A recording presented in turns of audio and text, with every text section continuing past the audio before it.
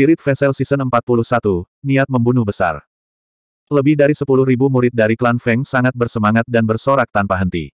Setelah menyaksikan kekuatan sebenarnya dari Kitab Badai Besar, tidak ada yang bisa menenangkan darah panas mereka. Jika suatu hari, mereka juga bisa berkultivasi ke tingkat ini, lalu siapa yang bisa menghentikan mereka di dunia kultivasi? Semua pembudidaya dari Aula Ketujuh tidak bisa berkata apa-apa, termasuk sepuluh tetua tertinggi, empat raksasa, dan wakil penguasa. Perasaan mereka tidak bisa dijelaskan dengan kata-kata. Seolah-olah mereka berdiri di depan tembok dewa yang tidak bisa dikalahkan.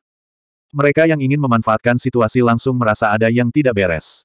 Misalnya, Master Klan Qin, Raksasa Gerbang Langit Pertama, Master Sekte Valet Cloud Grotto, dan Yue Chongzi dari Gerbang Dayan. Semuanya ingin mundur. Suara mendesing. Tirai air muncul di langit seperti galaksi. Seorang pria parubaya yang mengenakan jubah naga hitam dan mahkota di atas kepalanya datang bersama sekelompok pria tua. Ini adalah Tuan Aula ketujuh dari kuil Senluo. Ini adalah pertama kalinya dia melepaskan cadar misteriusnya dan terlihat. Untuk bisa menjadi penguasa Aula sesat, dia jelas merupakan karakter yang tangguh. Semua pembudidaya dari kuil berlutut untuk menyambutnya, termasuk tetua tertinggi dan raksasa. Seolah-olah mereka memberi hormat kepada seorang raja. Di antara bidat, yang kuat dihormati dengan hierarki yang ketat. Hall Lord adalah eksistensi tertinggi sehingga semua pembudidaya di bawahnya harus berlutut. Para ahli dari Aula Ketujuh, perhatikan perintahku, serang bersamaku. Para bidat menanggapi perintah Tuan Aula Ketujuh. Gelombang energi jahat melonjak ke langit dan memadat menjadi awan hitam yang turun. Ke mana pun ia pergi, pembudidaya akan dihancurkan oleh aura mereka. Kulit dan daging mereka akan meledak. Dipimpin oleh Tuan Kuil, Wakil Tuan Kuil, empat raksasa, dan enam belas sesepuh tertinggi, mereka semua ada di sini untuk membunuh Feng Qi. Feng Qi berdiri dengan bangga dengan baju besi putih bersalju. Ekspresinya kesepian seperti kekasih yang tergila-gila tersesat di dunia es dan salju. Sudah bertahun-tahun sejak ada pemandangan yang spektakuler. Begitu banyak raksasa menyerang pada saat bersamaan.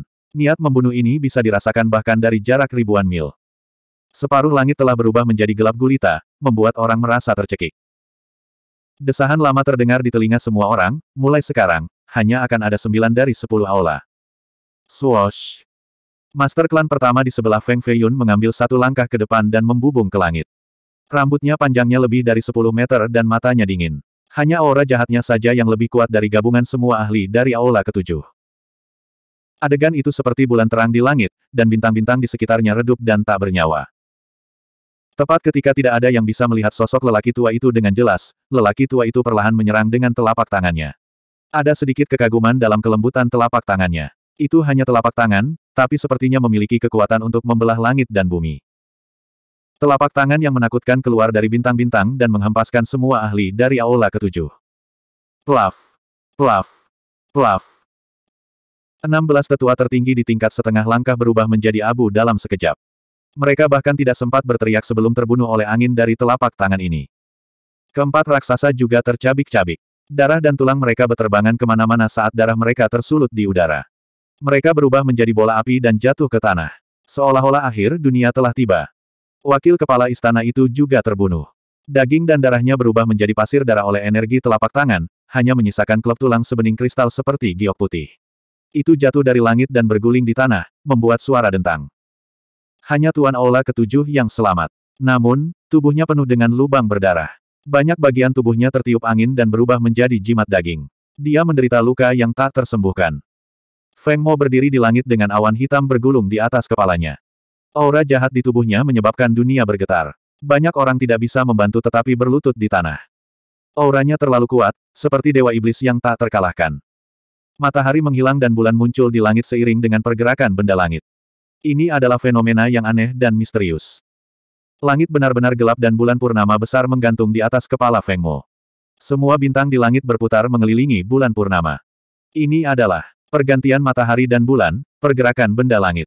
Feng Feiyun menatap fenomena aneh ini.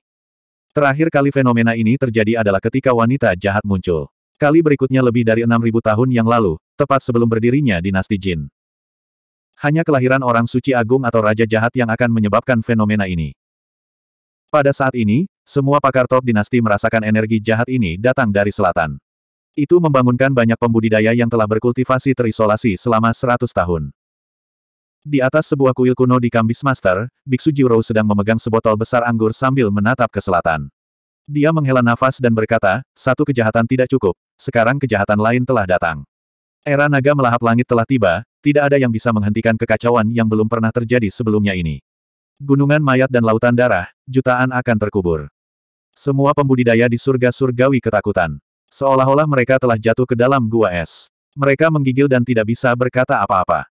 Dia membunuh lima raksasa dengan satu telapak tangan, ini. Ini jelas bukan kultivator mandat surga, ini adalah makhluk tercerahkan di alam nirvana. Semua pembudidaya di puncak tengah merasakan hawa dingin di punggung mereka saat mereka menatap lelaki tua yang melayang di langit. Mereka tidak bisa membantu tetapi berlutut. Bahkan raksasa tidak terkecuali saat mereka bersujud di tanah. Hanya ada sepuluh pembudidaya di alam nirvana di seluruh dinasti jin. Semuanya diberi gelar, makhluk tercerahkan. Selain itu, di antara sepuluh ini, ada beberapa tokoh dari ribuan tahun yang lalu yang tidak pernah muncul di dunia kultivasi abadi selama ribuan tahun. Banyak orang mengira bahwa mereka telah menghabiskan masa hidup mereka dan meninggal di tempat yang tidak diketahui. Lagi pula, bahkan makhluk yang tercerahkan akan mengalami lima memudarnya langit.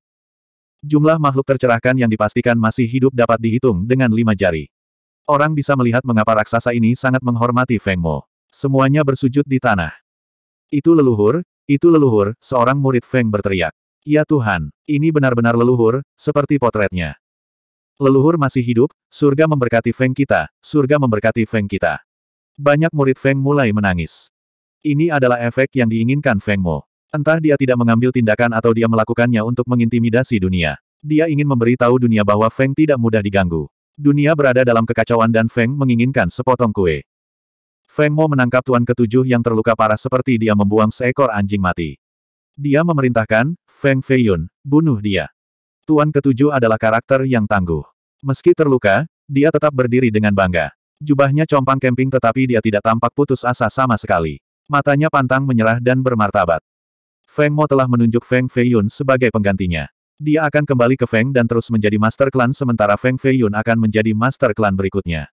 Jadi, Feng Feiyun harus mengikuti rencana Feng Mo dan menjadi kejam dan kejam. Namun, ini bukan gaya Feng Feiyun. Feng Feiyu diusir dari klan Feng, jadi dia tidak ingin kembali. Tidak ada yang bisa membuatnya menyerah, dan tidak ada yang bisa membuatnya melawan prinsipnya. Feng Feiyun bertindak seolah-olah dia tidak mendengar Feng Mo.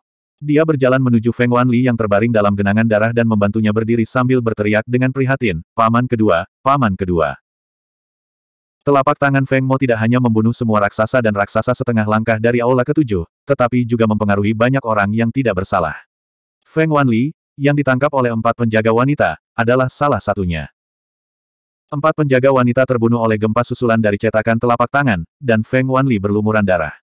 Semua organ dalamnya rusak, dan dia diambang kematian. Feng Feiyu menyalurkan energi violetnya ke dalam tubuh Feng Wanli untuk memperbaiki luka dalam dan melindungi jantungnya. Dia sangat tidak senang dengan Feng Mo. Bidat tua ini terlalu kejam dan bahkan tidak peduli dengan nyawa bangsanya sendiri. Tidak hanya Feng Wanli, telapak tangan Feng Mo juga telah membunuh banyak murid Feng, menyebabkan mereka jatuh ke tanah. Jika dia masih memiliki sedikit kemanusiaan di dalam dirinya, maka ini benar-benar dapat dihindari untuk seorang ahli di levelnya. Alih-alih mengatakan bahwa dia adalah master klan Feng berikutnya, lebih akurat mengatakan bahwa Feng hanyalah batu loncatan baginya untuk menguasai dunia. Setelah menjadi jahat, Feng Mo telah kehilangan kemanusiaan dari manusia. Feng Feiyun secara alami tidak akan bergaul dengannya. Feng Feiyun akan melarikan diri jika dia tidak bisa mengalahkan musuh, tapi dia tidak bisa menyerah pada Feng Mo. Tubuh Feng Mo menjadi dingin karena marah. Keturunan yang paling dia sukai sebenarnya sangat tidak patuh. Kilatan kejam muncul di matanya saat tangannya gemetar. Dia melambaikan tangannya dan langsung mencabik-cabik Tuan Aula ketujuh. Feng Feiyun, beraninya kamu. Kamu berani tidak mematuhi leluhur. Itu sebabnya kamu adalah pengkhianat Feng. Makhluk keji seperti itu pantas mati. Master klan saat ini melompat keluar. Sebelum Feng Qi dan Feng Mo muncul, Master klan ini bersembunyi di tengah kerumunan dan tidak berani mengatakan sepatah kata pun.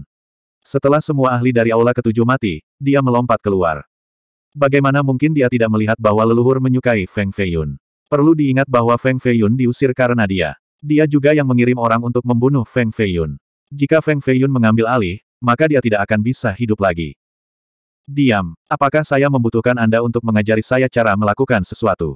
Feng Mo langsung menamparkan Master Klan sampai mati dan mengubahnya menjadi kabut berdarah. Dia dengan dingin memelototi Feng Feiyun dan berkata, teman-teman, kunci Feng Feiyun di penjara klan untukku.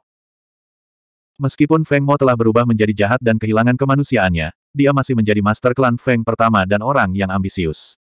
Dia tahu bahwa tidak peduli seberapa kuat satu orang, mereka tidak dapat membangun sebuah dinasti. Dia membutuhkan talenta terbaik di bawahnya, dan Feng Feiyun adalah kandidat yang paling cocok. Feng Feiyun tidak bisa mati dan hanya bisa digunakan olehnya. Bab 402 Tujuh hari kemudian, di surga surgawi. Suasana kemakmuran telah dipulihkan di sini. Bahkan puncak awan yang runtuh diangkat oleh kemampuan ilahi yang luar biasa. Mata air spiritual dipercikkan, dan pohon-pohon ungu, hijau, dan merah tua tumbuh satu demi satu. Di antara 99 awan, bel berbunyi dari waktu ke waktu. Binatang raksasa yang tak terhitung jumlahnya terbang di antara awan dan meraung dengan marah. Para pembudidaya muda yang tampan menginjak pedang kuno dan terbang ke langit. Ada juga seorang lelaki tua berambut putih dan berjanggut putih mengendarai bangau. Dalam kurun waktu tujuh hari yang singkat, medan perang yang dipenuhi asap telah berubah menjadi pemandangan abadi yang berkembang pesat. Seperti kata pepatah, tidak peduli seberapa tinggi gunung itu. Tidak peduli seberapa dalam airnya.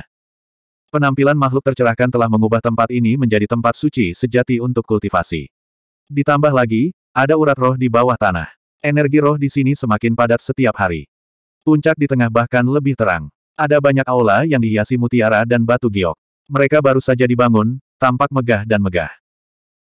Dalam beberapa hari terakhir, semua kultivator terkenal di prefektur Grand Selatan datang untuk memberikan penghormatan kepada makhluk tercerahkan. Ini membuat surga surgawi sangat hidup. Di sisi lain, tembakan besar dari Sekte Abadi yang ingin memanfaatkan situasi mengalami kerugian ganda. Di bawah pencegahan kekuatan gemuruh makhluk tercerahkan, mereka semua bergabung dengan Sekte Klan Feng. Misalnya, Kekuatan besar yang dulunya berada pada level yang sama dengan Feng, Klan Qin, Gerbang Surga Pertama, Gua Awan Valet, dan Gerbang Dayan. Hampir sepuluh kekuatan besar menjadi pengikut Feng setelah intimidasi makhluk tercerahkan. Di antara kekuatan besar ini, ada beberapa yang memiliki karakter level raksasa. Misalnya, Klan Qin memiliki dua leluhur tingkat raksasa, Gerbang Abadi Pembangunan Besar memiliki satu, dan Gerbang Abadi Surga Pertama memiliki satu. Namun, tidak satu pun dari raksasa ini yang berani melawan. Pada hari kedua setelah penampakan Sang Tercerahkan, mereka semua datang ke surga surgawi untuk menyembah Sang Tercerahkan. Karakter seperti apakah makhluk yang tercerahkan itu? Jika dia ingin membunuh seseorang, bahkan raksasa yang bersembunyi puluhan ribu mil jauhnya masih akan terbunuh kecuali aura mereka dapat bersembunyi dari niat ilahi dari makhluk yang tercerahkan. Ketika wanita jahat keluar, kekuatan besar prefektur Grand Selatan telah menderita kerugian besar. Lebih dari setengahnya mati. Sekarang, Feng memiliki makhluk tercerahkan lainnya. Mereka tidak memiliki kekuatan untuk melawan dan hanya bisa tunduk pada Panji Feng. Di antara kekuatan besar di prefektur Grand Southern, hanya klan Ji yang bisa lolos dari bahaya di lahap. 22 dari 28 kabupaten di prefektur Grand Southern telah jatuh ke tangan wanita jahat. Enam sisanya menjadi wilayah klan Feng. Kekuatan besar prefektur Grand Southern bersatu. Ini telah terjadi sebelumnya dalam sejarah, tetapi kekuatan semacam ini hanya dapat dicapai oleh makhluk yang tercerahkan. Ketika makhluk tercerahkan jatuh, itu juga saatnya bagi mereka untuk berpisah lagi. Saat ini, klan Feng memiliki sembilan raksasa. Meskipun kekuatan mereka tidak bisa dibandingkan dengan empat klan besar, mereka masih bisa melawan salah satu aula kuil Shen Luo. Plus, mereka memiliki makhluk tercerahkan yang bertanggung jawab, sehingga mereka dapat mengguncang selatan. Bahkan wanita jahat harus mewaspadai mereka. Mayat juga mulai mundur dan tidak lagi menginvasi enam kabupaten di timur. Ini adalah struktur baru di Grand Southern Prefecture. Satu kejahatan dan satu kejahatan ada berdampingan. Seluruh dinasti Jin merasakan aura menakutkan yang datang dari selatan. Ini bukan lagi gurun tandus, itu adalah tempat berbahaya yang penuh dengan kejahatan dan kejahatan. Feng Feiyun duduk di penjara yang dingin dan gelap tanpa apa pun di atas kepalanya. Hanya ada platformasi dengan diameter 6 meter yang melayang di atas kepalanya. Itu menghujani sinar hitam yang menjebaknya di dalam. Ini adalah formasi yang dibuat secara pribadi oleh Feng Mo. Feng Feiyun menggunakan lebih dari 10 metode tetapi masih tidak dapat memecahkannya. Secara alami, dia tidak bisa melarikan diri dari penjara ini. Feng Feiyun telah dipenjara di sini selama sebulan. Selama waktu ini, Feng Feiyun tidak mengendur dalam kultivasinya. Dia telah sepenuhnya mengkonsolidasikan kultivasi mandat surga tingkat pertamanya. Adapun tulang belakang Yama di punggungnya, Feng Feiyun tidak mencoba menggali kekuatannya. Sebaliknya, dia mencoba yang terbaik untuk menekannya. Pada akhirnya, benda ini bukan miliknya. Jika dia dengan santai menyatukannya ke dalam tubuhnya seperti Feng Mo tanpa menahan diri, maka itu akan menjadi bencana besar di masa depan. Feng Mo datang dua kali selama ini, tetapi Feng Feiyun tidak menyerah. Ini tidak berarti bahwa dia ingin dipenjara di penjara yang gelap ini atau bahwa dia adalah seorang idiot yang tidak tahu bagaimana bersikap sopan. Hanya saja dia tidak menyukai cara Feng Mo melakukan sesuatu, jadi dia bahkan tidak bisa berpura-pura sopan. Wanita jahat itu bahkan tidak membunuh mayat jahatnya sendiri. Namun, Feng Mo memperlakukan kehidupan anak-anak Feng seperti rumput. Bagaimana Feng Feiyun bisa menyerah pada orang seperti itu? Feng Feiyun telah memanggil wanita jahat, yang mulia, dan Raja Ilahi, Tuan, tetapi dia tidak akan pernah memanggilnya, leluhur Feng Mo. Haha, saudaraku, coba tebak makanan enak apa yang dibawakan Little King untukmu kali ini. Suara manis seorang gadis muda muncul. Tawanya sudah bisa terdengar sebelum suaranya terdengar. Feng Feiyun duduk bersila di tanah dan membuka matanya. Kedua tangannya terbungkus rantai, menciptakan suara dentingan saat dia menyeretnya. Setelah melihat gadis yang ramping dan murni ini, dia tersenyum dan berkata, saya harus menebaknya. Feng Feiyun mendengus dan tersenyum, jangan bilang kamu memanggang sayap ya Sparrow 600 tahun. Iya, iya, tebak lagi, tebak lagi. Little Demones memiliki kedua tangan di belakang punggungnya dan memiliki senyum menawan di wajahnya. Rambut hitamnya tergerai sampai ke pinggangnya seperti air terjun.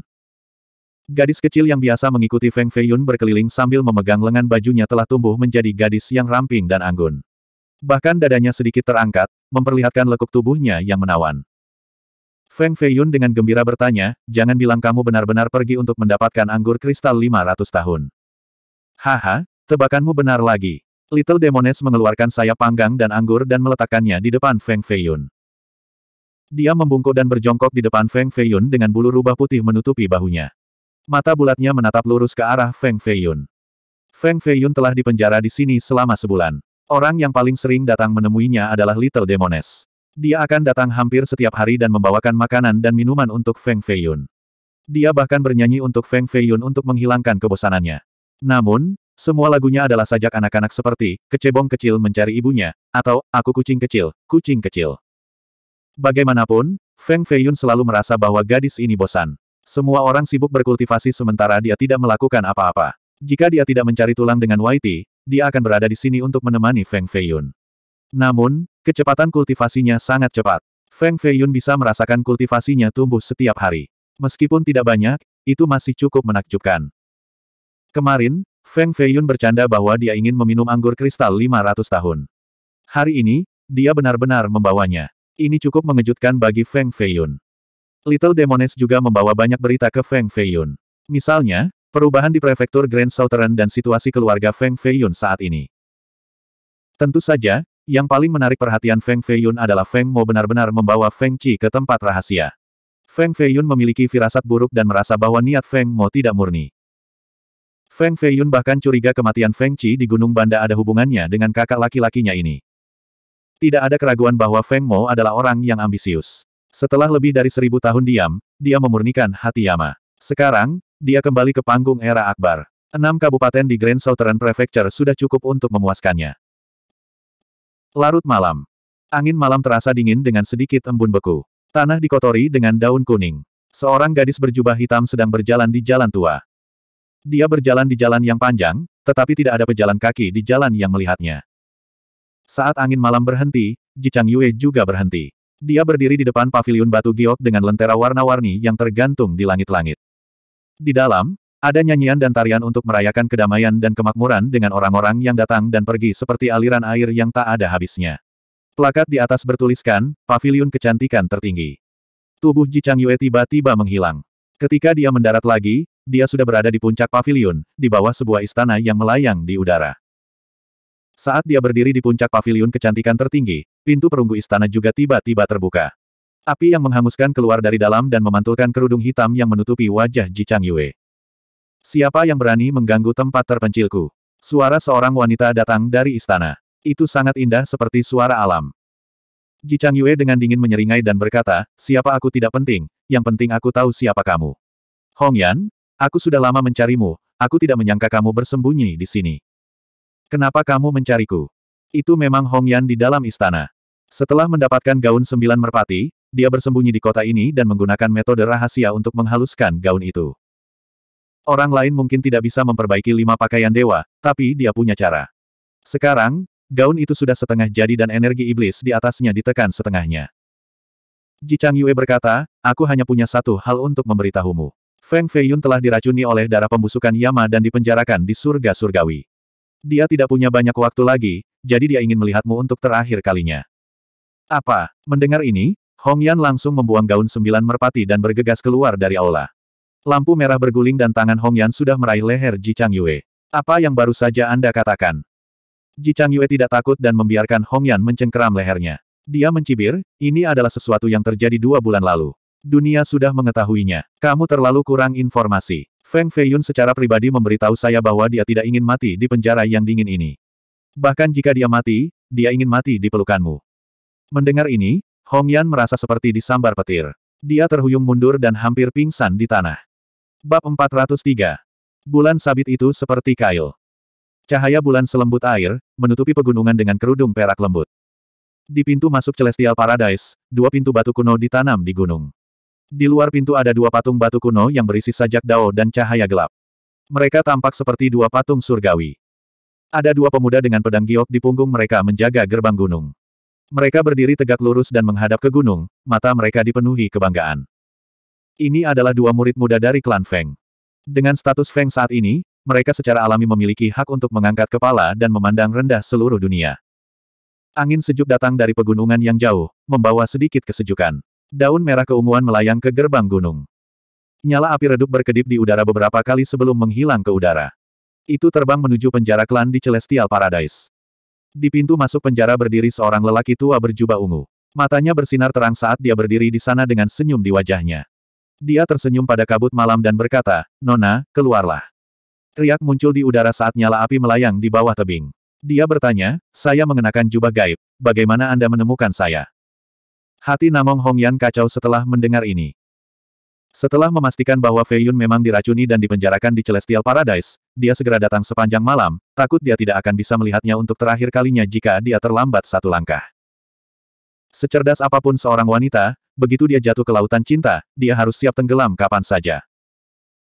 Dalam perjalanan ke sini, dia sudah tahu bahwa surga surgawi dipenuhi oleh para ahli, dan bahkan ada makhluk tercerahkan yang mengawasinya. Dia tahu bahwa dia kemungkinan besar akan mati di sini, tetapi dia tidak melihat ke belakang.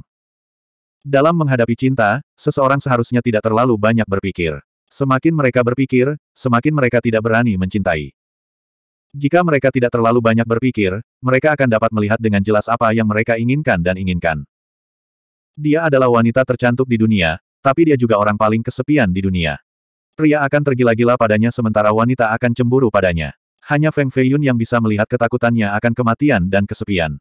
Jadi, Feng Feiyun mengeluarkan tulang phoenix dari tubuhnya dan memberikannya padanya sehingga dia tidak lagi takut mati dan rambutnya memutih. Itu juga karena Feiyun dia tidak lagi merasa kesepian. Paling tidak, ketika dia lelah, lelah, dan kesepian, dia masih bisa memikirkan seseorang di dalam hatinya. Jika Feng Feiyun meninggal, siapa yang akan dia pikirkan? Jika hati seseorang bahkan tidak memiliki seseorang yang dia rindukan, maka dia akan seperti mayat berjalan. Dia hidup seperti ini sebelumnya, tetapi dia tidak ingin hidup seperti ini di masa depan. Feng Feiyun ingin melihatnya untuk terakhir kali, jadi bagaimana mungkin dia tidak datang? Haha, seseorang sudah memberitahu kami bahwa wanita tercantik di dunia akan datang untuk memecahkan penjara malam ini. Saya telah menunggu di sini untuk waktu yang lama. Pria tua berbaju ungu itu mencibir. Orang tua ini adalah raksasa setengah langkah dari Valet Cloud Grotto. Kultivasinya sangat dekat dengan level raksasa. Jubah gaib benar-benar bisa menyembunyikan auranya. Bahkan raksasa tidak akan bisa merasakannya. Inilah alasan mengapa dia bisa menyergap dan membunuh raksasa dengan kultivasi setengah langkahnya. Dia berpikir bahwa dengan kekuatan khusus dari jubah gaib, akan mudah untuk masuk ke penjara klan Feng. Dia tidak menyangka seseorang telah memberitahu klan Feng dan mengungkap lokasinya. Siapa orang ini? Tiga raja raksasa setengah langkah lainnya terbang keluar, Tubuh mereka bersinar seperti bintang saat mereka mengelilingi Hongyan dari tiga arah berbeda. Semuanya senior dengan ratusan tahun kultivasi. Masing-masing memiliki mata tertutup dan menggunakan indera ilahi mereka untuk mengamati sekeliling. Mereka tahu kecantikannya bisa membunuh, jadi mereka tidak berani menatap lurus ke arahnya. Mereka siap dan tidak takut akan kecantikannya. Ledakan. Platform formasi turun dari langit, menekan area di atas seperti bintang, mengisolasi ruang ini. Mereka tahu bahwa dia mengenakan jubah gaib. Bahkan raksasa tidak akan bisa menemukannya, jadi mereka menggunakan formasi untuk menekannya sehingga dia tidak bisa bersembunyi. Dua raksasa setengah langkah menyerang lebih dulu. Salah satunya adalah seorang lelaki tua yang mengenakan jubah tawis ungu sementara yang lainnya adalah seorang lelaki paruh baya dengan tahi lalat hitam di dahinya. Keduanya adalah pembudidaya yang kuat dengan budidaya beberapa ratus tahun. Pikiran mereka sangat teguh. Bahkan wanita tercantik di dunia harus mati. Meskipun ditutup matanya, gerakan mereka sangat cepat. Pedang Miriat sebagai satu. Pria parubaya melepaskan seni pedang tertinggi. Dia memanggil pedangnya dan lebih dari seribu bayangan pedang menyapu ke depan, berubah menjadi hujan pedang yang mematikan. Energi violet yang luar biasa. Awan ungu muncul di belakang lelaki tua itu. Auranya terus meningkat saat dia melepaskan satu serangan yang menyebabkan langit bergetar.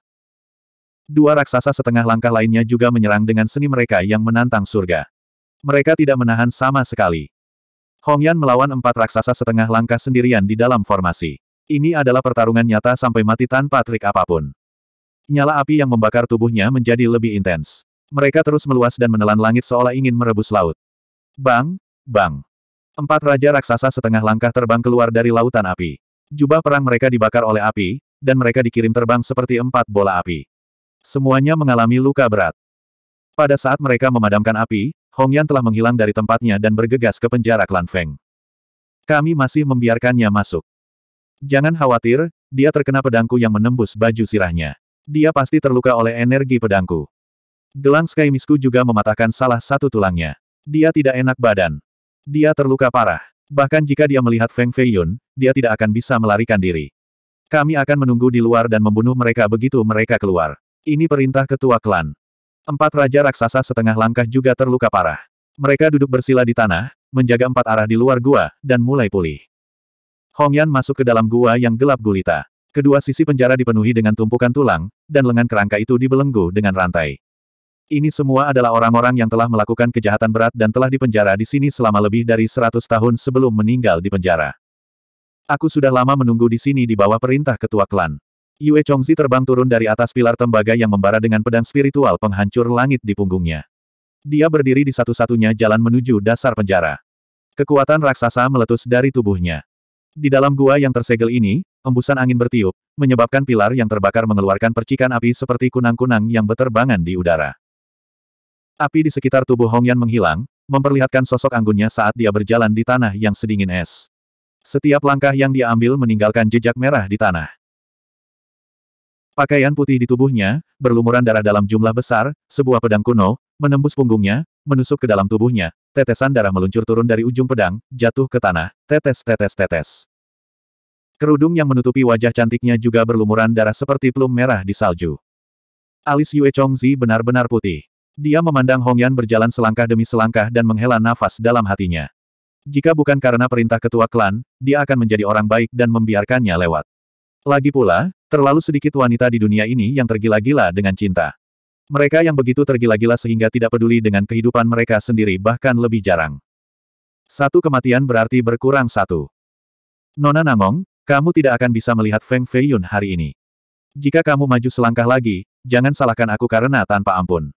Yue Chongzi menjepit jari telunjuk dan jari tengahnya bersamaan. Segel pedang muncul di ujung jarinya. Pedang roh di punggungnya juga mengeluarkan raungan rendah seperti teriakan kilin. Dentang-denting. Aku hanya ingin bertemu dengannya untuk terakhir kali. Ada beberapa hal yang perlu kuberitahukan padanya. Mata indah Hong Yan kusam. Dia tidak menghentikan langkahnya. Dia takut jika dia terlambat, Feng Fei Yun akan mati. Siapa yang akan mendengarkan kata-katanya? Apakah dia harus mengatakannya pada dirinya sendiri di tengah malam yang sepi? Yue Chongzi mengeluarkan pedangnya dan tiba-tiba menyerang. Dia harus mengambil tindakan. Hanya dengan kematian Hong Yan dia bisa hidup. Segel pedang terbang keluar. Energi pedang yang tak terhitung jumlahnya menghancurkan penjara besi di sekitarnya seperti badai yang menyapu bumi. Semuanya akan dihancurkan. Beberapa lubang berdarah muncul di tubuh Hong Yan, tetapi dia tidak jatuh. Bayangan pedang menjadi lebih besar dan lebih besar di matanya. Energi pedang yang ganas ini sepertinya ingin mencabik-cabiknya menjadi jutaan keping. Tidak, raungan liar seperti binatang buas datang dari dalam penjara. Feng Fei Yun merasakan fluktuasi mengerikan di atas. Dia mendorong rantai dan berdiri. Dia menyalurkan Heavenly Phoenix Gaze untuk melihat menembus lapisan baja dan melihat Hong Yan bertarung melawan Yue Chongxi. Plaf. Plaf. Energi pedang raksasa mengandung kekuatan sembilan harimau. Bahkan Firibird gaun dan jubah gaib tidak dapat sepenuhnya meniadakannya. Mata Feng Fei Yun memerah. Tulang belakang Yama di punggungnya memancarkan kekuatan jahat yang mengerikan seperti pilar surgawi yang perlahan mengangkat pelat formasi di atas kepalanya. Gemuruh. Pelat formasi perlahan diangkat. Feng Feiyun putus asa. Dia tidak keberatan menggunakan kekuatan Yamas Spin untuk bergegas keluar. Hong Yan benar-benar tidak bisa mati, benar-benar tidak bisa. Bulan di langit menjadi agak merah tua, seolah meramalkan bahwa seorang wanita cantik akan meninggalkan dunia ini malam ini. Ji Chang Yue berdiri di atas gunung yang jauh. Dia mengenakan jubah hitam longgar yang menutupi seluruh tubuhnya. Dia terkikik, Hong Yan, aku tidak menyangka kamu begitu bodoh. Jika kamu mati malam ini, jangan salahkan aku. Kamu hanya bisa menyalahkan Feng Feiyun. Cara terbaik untuk membuat seseorang berharap mereka mati adalah dengan membunuh orang yang paling mereka cintai. Ada sangat sedikit wanita yang bisa menggerakkan Feng Feiyun, tapi Hong Yan pasti salah satunya. Jika dia meninggal, bukankah Feng Feiyun akan patah hati? Memikirkan Feng Feiyun menangis sambil memeluk Hong Yan, Ji Chang Yue merasakan sensasi balas dendam. Dia tidak bisa membantu tetapi mencibir dengan kebencian. Jangan pernah meremehkan keinginan wanita untuk balas dendam. Mereka seperti kalajengking beracun yang bersembunyi di sudut, siap merangkak keluar dan menggigit Anda kapan saja. Gigitannya akan membuat Anda merasakan sakit yang luar biasa. Bab 404 Hanya wanita secantik puisi yang memiliki pesona tak berujung. Hanya wanita yang tergila-gila yang tidak akan berpikir dua kali. Gaun putihnya berubah menjadi gaun merah. Matanya seanggun puisi. Dia tergila-gila dengan orang lain dan tergila-gila dengan mereka. Pedang roh penghancur langit memiliki spiritualitasnya sendiri. Sebuah kilin biru muncul di atas bilahnya dengan aura pembunuh yang menembus surga. Itu mengeluarkan raungan keras yang mampu menghancurkan gunung. Pop! Hong Yan mengeluarkan sitar ungu yang ditinggalkan oleh leluhur pavilion kecantikan tertinggi. Sitar itu terbuat dari kayu cendana ungu dan senarnya terbuat dari ulat sutra es salju. Itu adalah favorit dari keindahan yang tak terhitung jumlahnya dan memancarkan aroma yang jauh dan manis. Dengan jentikan jarinya yang ramping, aliran gelombang suara yang tak berujung terbang keluar dan berubah menjadi platformasi melingkar. Mereka seperti selusin perisai kuno yang memblokir Sky Shattering Sword. Boom, boom. Kekuatan raksasa ditambah kekuatan harta karun roh bukanlah sesuatu yang bisa dihentikan oleh raksasa setengah langkah. Gelombang suara hancur dan hilang dalam angin. Jejak darah meluap dari mulutnya, membawa bau amis. Itu mengalir di lehernya yang indah dan menyatu menjadi aliran darah yang indah. Dia belum pernah mengalami pendarahan sebanyak itu sebelumnya, tetapi dia tidak merasakan sakit apa pun. Ledakan. Dia segera mengeluarkan sitar kesayangannya dan membuangnya. Di bawah Sky Shattering Sword, sitar itu dipotong menjadi dua bagian. Peng, peng, potongan-potongan jatuh ke sudut penjara. Pada saat yang sama, dia berubah menjadi pesawat ulang-alik yang berapi-api dan terbang menuju dasar penjara. Kamu pikir mau ke mana? Mati. Yue Chongzi menunjuk dengan jarinya. Ribuan helai energi berkumpul di ujung jarinya dan berubah menjadi ribuan bayangan pedang yang melaju ke depan. Mereka memadat menjadi sinar pedang dan mengejar pesawat ulang-alik yang berapi-api. Pluf. Dia menjerit sengsara dan terhuyung-huyung ke dalam genangan darah. Namun, dia tidak berhenti. Dia bangkit dan terus terbang lebih dalam ke penjara. Brengsek. Yue Chongzi merasakan hawa dingin di hatinya. Dia mengendarai pedang rohnya dan berubah menjadi sinar cahaya untuk mengejar. Jika Namong Hongyan melihat Fei Yun, maka Master Klan Feng tidak akan melepaskannya dengan mudah. Mengaktifkan. Feng Fei Yun berdiri di penjara, tangannya memancarkan api iblis. Otot-ototnya menembus lengan bajunya, dan rantai di lengannya ditarik kencang, seolah-olah akan putus. Api yang mengamuk menyala di punggungnya, dan tulang punggung Raja Neraka meletus dengan kekuatan yang bisa menopang gunung. Rambut Feng Feiyun berdiri tegak, dan seluruh tubuhnya dipenuhi keringat. Kedua tangannya memegang pelat susunan di atas kepalanya, dan itu sangat sulit sehingga seolah-olah dia sedang memegang sepotong dunia. Besi keras dan batu di tanah telah diinjak ke dalam lubang sedalam kaki. Batu-batu yang hancur tersebar di seluruh tanah. Dia meraung keras untuk melampiaskan amarah di hatinya. Pada saat ini, tatapan Feng Feiyun membeku. Mata merahnya menjadi lembut saat dia menatap wanita cantik di luar jeruji besi. Hatinya terasa sangat tidak nyaman. Pada akhirnya, Feng Feiyun tidak merusak formasi terlarang Feng Mo. Dia meletakkan pelat formasi dan menyeret rantai berat melalui pilar besi. Hatinya terasa seperti disayat pisau, dan tenggorokannya seperti tersangkut saat dia berbicara dengan suara serak Hong. Yan. Hong Yan berdiri di luar dengan darah di sekujur tubuhnya. Ada lebih dari sepuluh luka di tubuhnya, dan ada pedang patah di punggungnya. Feng Feiyun belum pernah melihatnya terluka seperti ini sebelumnya. Dia adalah seorang wanita yang suka tampil cantik, tetapi pada saat ini, dia dalam keadaan yang sangat menyedihkan. Suaranya juga agak serak dan kering saat dia berkata dengan lemah, Aku. Aku datang seperti yang dijanjikan, aku tidak mengecewakanmu, kan? Mengapa kamu datang? Ini bukan tempat yang harus kamu datangi. Fei Yun praktis meraung dengan air mata di matanya. Suaranya sepertinya merintih. Hong Yan tersenyum pahit, tempat bersamamu adalah tempat di mana aku harus datang.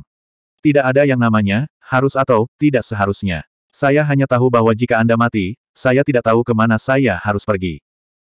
Feng Feiyun berkata, mengapa kamu harus melakukan ini? Hong Yan dengan keras kepala berkata, Feng Feiyun, kamu tidak pernah mengatakan kamu mencintaiku. Aku mencintaimu.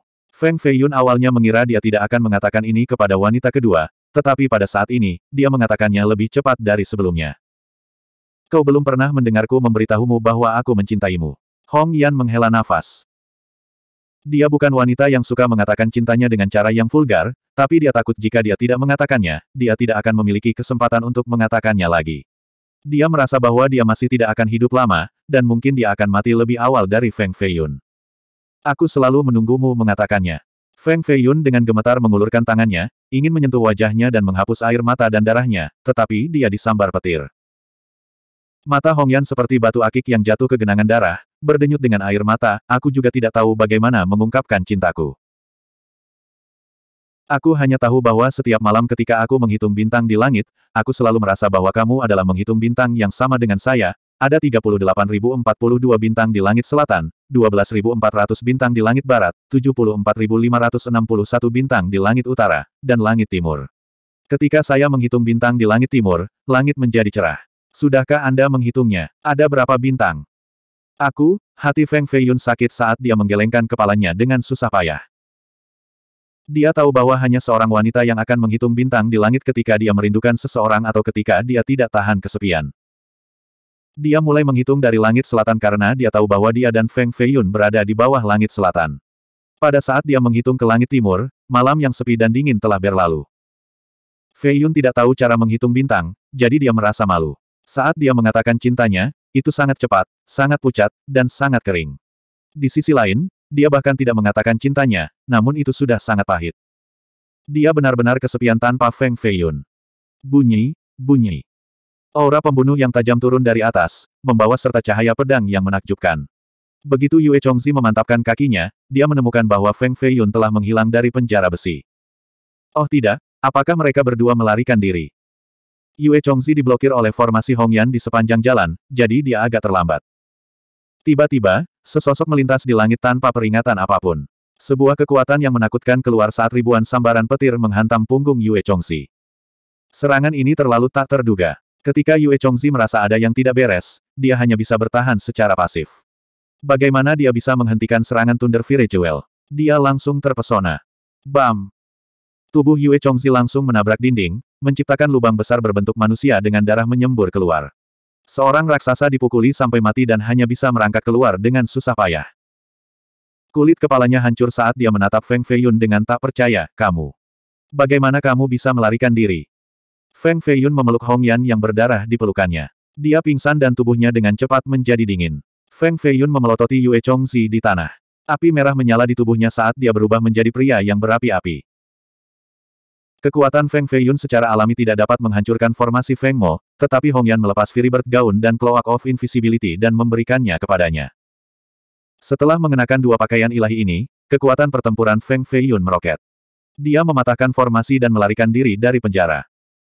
Tanpa kultivasi apa pun, kecakapan pertempuran Hong Yan sebanding dengan raksasa setengah langkah. Kultivasi Feng Feiyun berkali-kali lebih tinggi dari miliknya. Meskipun dia tidak bisa dengan mudah mengalahkan raksasa dengan dua pakaian dewa ini, setidaknya dia bisa melawan salah satunya. Hong Yan, kamu tidak bisa mati. Aku akan membawamu keluar dan mencari dokter terbaik untuk menyelamatkanmu. Feng Feiyun dengan lembut menyeka darah dari dahinya. Dia bisa merasakan hidupnya dengan cepat mengalir saat tubuhnya menjadi lebih dingin. Dia hanya berada di Immortal Foundation awal, jadi cedera serius seperti itu berakibat fatal baginya. Dia tidak bisa sekuat Feng Feiyun, mampu bertahan dan pulih hanya dalam beberapa hari. Feng Feiyun bisa, tapi dia tidak bisa. Setelah menanggalkan pakaian dewa, dia sebenarnya adalah wanita yang lemah dan tergila-gila. Ketika Feng Feiyun melangkah keluar dari gua, langit menjadi cerah. Bintang-bintang di langit timur juga menjadi pucat. Akankah Fajar benar-benar datang setelah kegelapan berlalu? Gemuruh. Tiba-tiba, angin melolong di langit. Seberkas cahaya keluar dari gunung tengah dan mendarat di langit di luar gua. Ada lusinan dari mereka dengan aura mengerikan. Semuanya adalah raksasa setengah langkah. Bahkan delapan raksasa lainnya ada di sini. Ini adalah pakar teratas Feng saat ini. Banyak dari mereka telah hidup selama beberapa ratus tahun dan merupakan nenek moyang dari kekuatan besar. Dalam beberapa hari terakhir, mereka telah berkumpul di surga surgawi untuk memberikan penghormatan kepada Sang Tercerahkan. Untuk menyenangkan yang tercerahkan, mereka semua bergegas ke sini. Feng Fei Yun, kamu benar-benar berhasil melarikan diri. Apakah kamu pikir kamu bisa pergi hari ini? Empat raksasa setengah langkah yang menjaga surga surgawi terbang pada saat yang sama dan berdiri di samping puluhan lelaki tua. Mereka melayang di langit dan menatap Feng Feiyun. Semua aura mereka berkumpul pada satu titik dan menekan Feng Feiyun. Ini adalah tekanan kuat yang bisa menghancurkan Gunung Baja. Bukan kamu yang memutuskan apakah aku bisa pergi atau tidak. Mata Feng Feiyun tak tergoyahkan.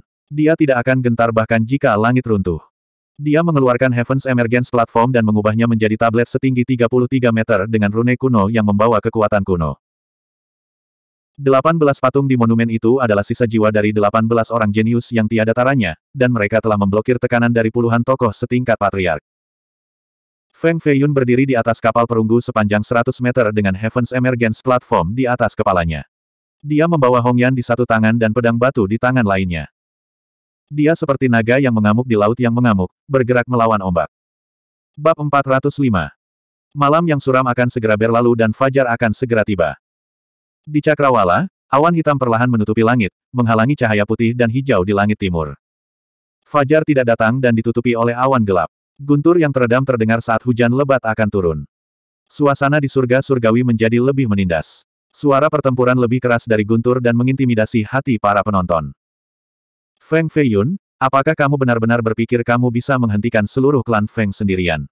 Raksasa setengah langkah mengenakan jubah tawis ungu berdiri di langit dengan cahaya ungu mengalir di sekujur tubuhnya. Ada simbol Taiji di atas kepalanya. Orang tua ini adalah salah satu dari empat penguasa setengah langkah yang berperang melawan Hong Yan sebelumnya. Mereka bertanggung jawab untuk menjaga penjara dan tidak mengizinkan orang luar masuk. Namun, Hong Yan melakukannya. Ini adalah kejahatan besar bagi mereka. Hanya dengan menahan Feng Feiyun dan Hong Yan di sini, mereka dapat lolos dari hukuman.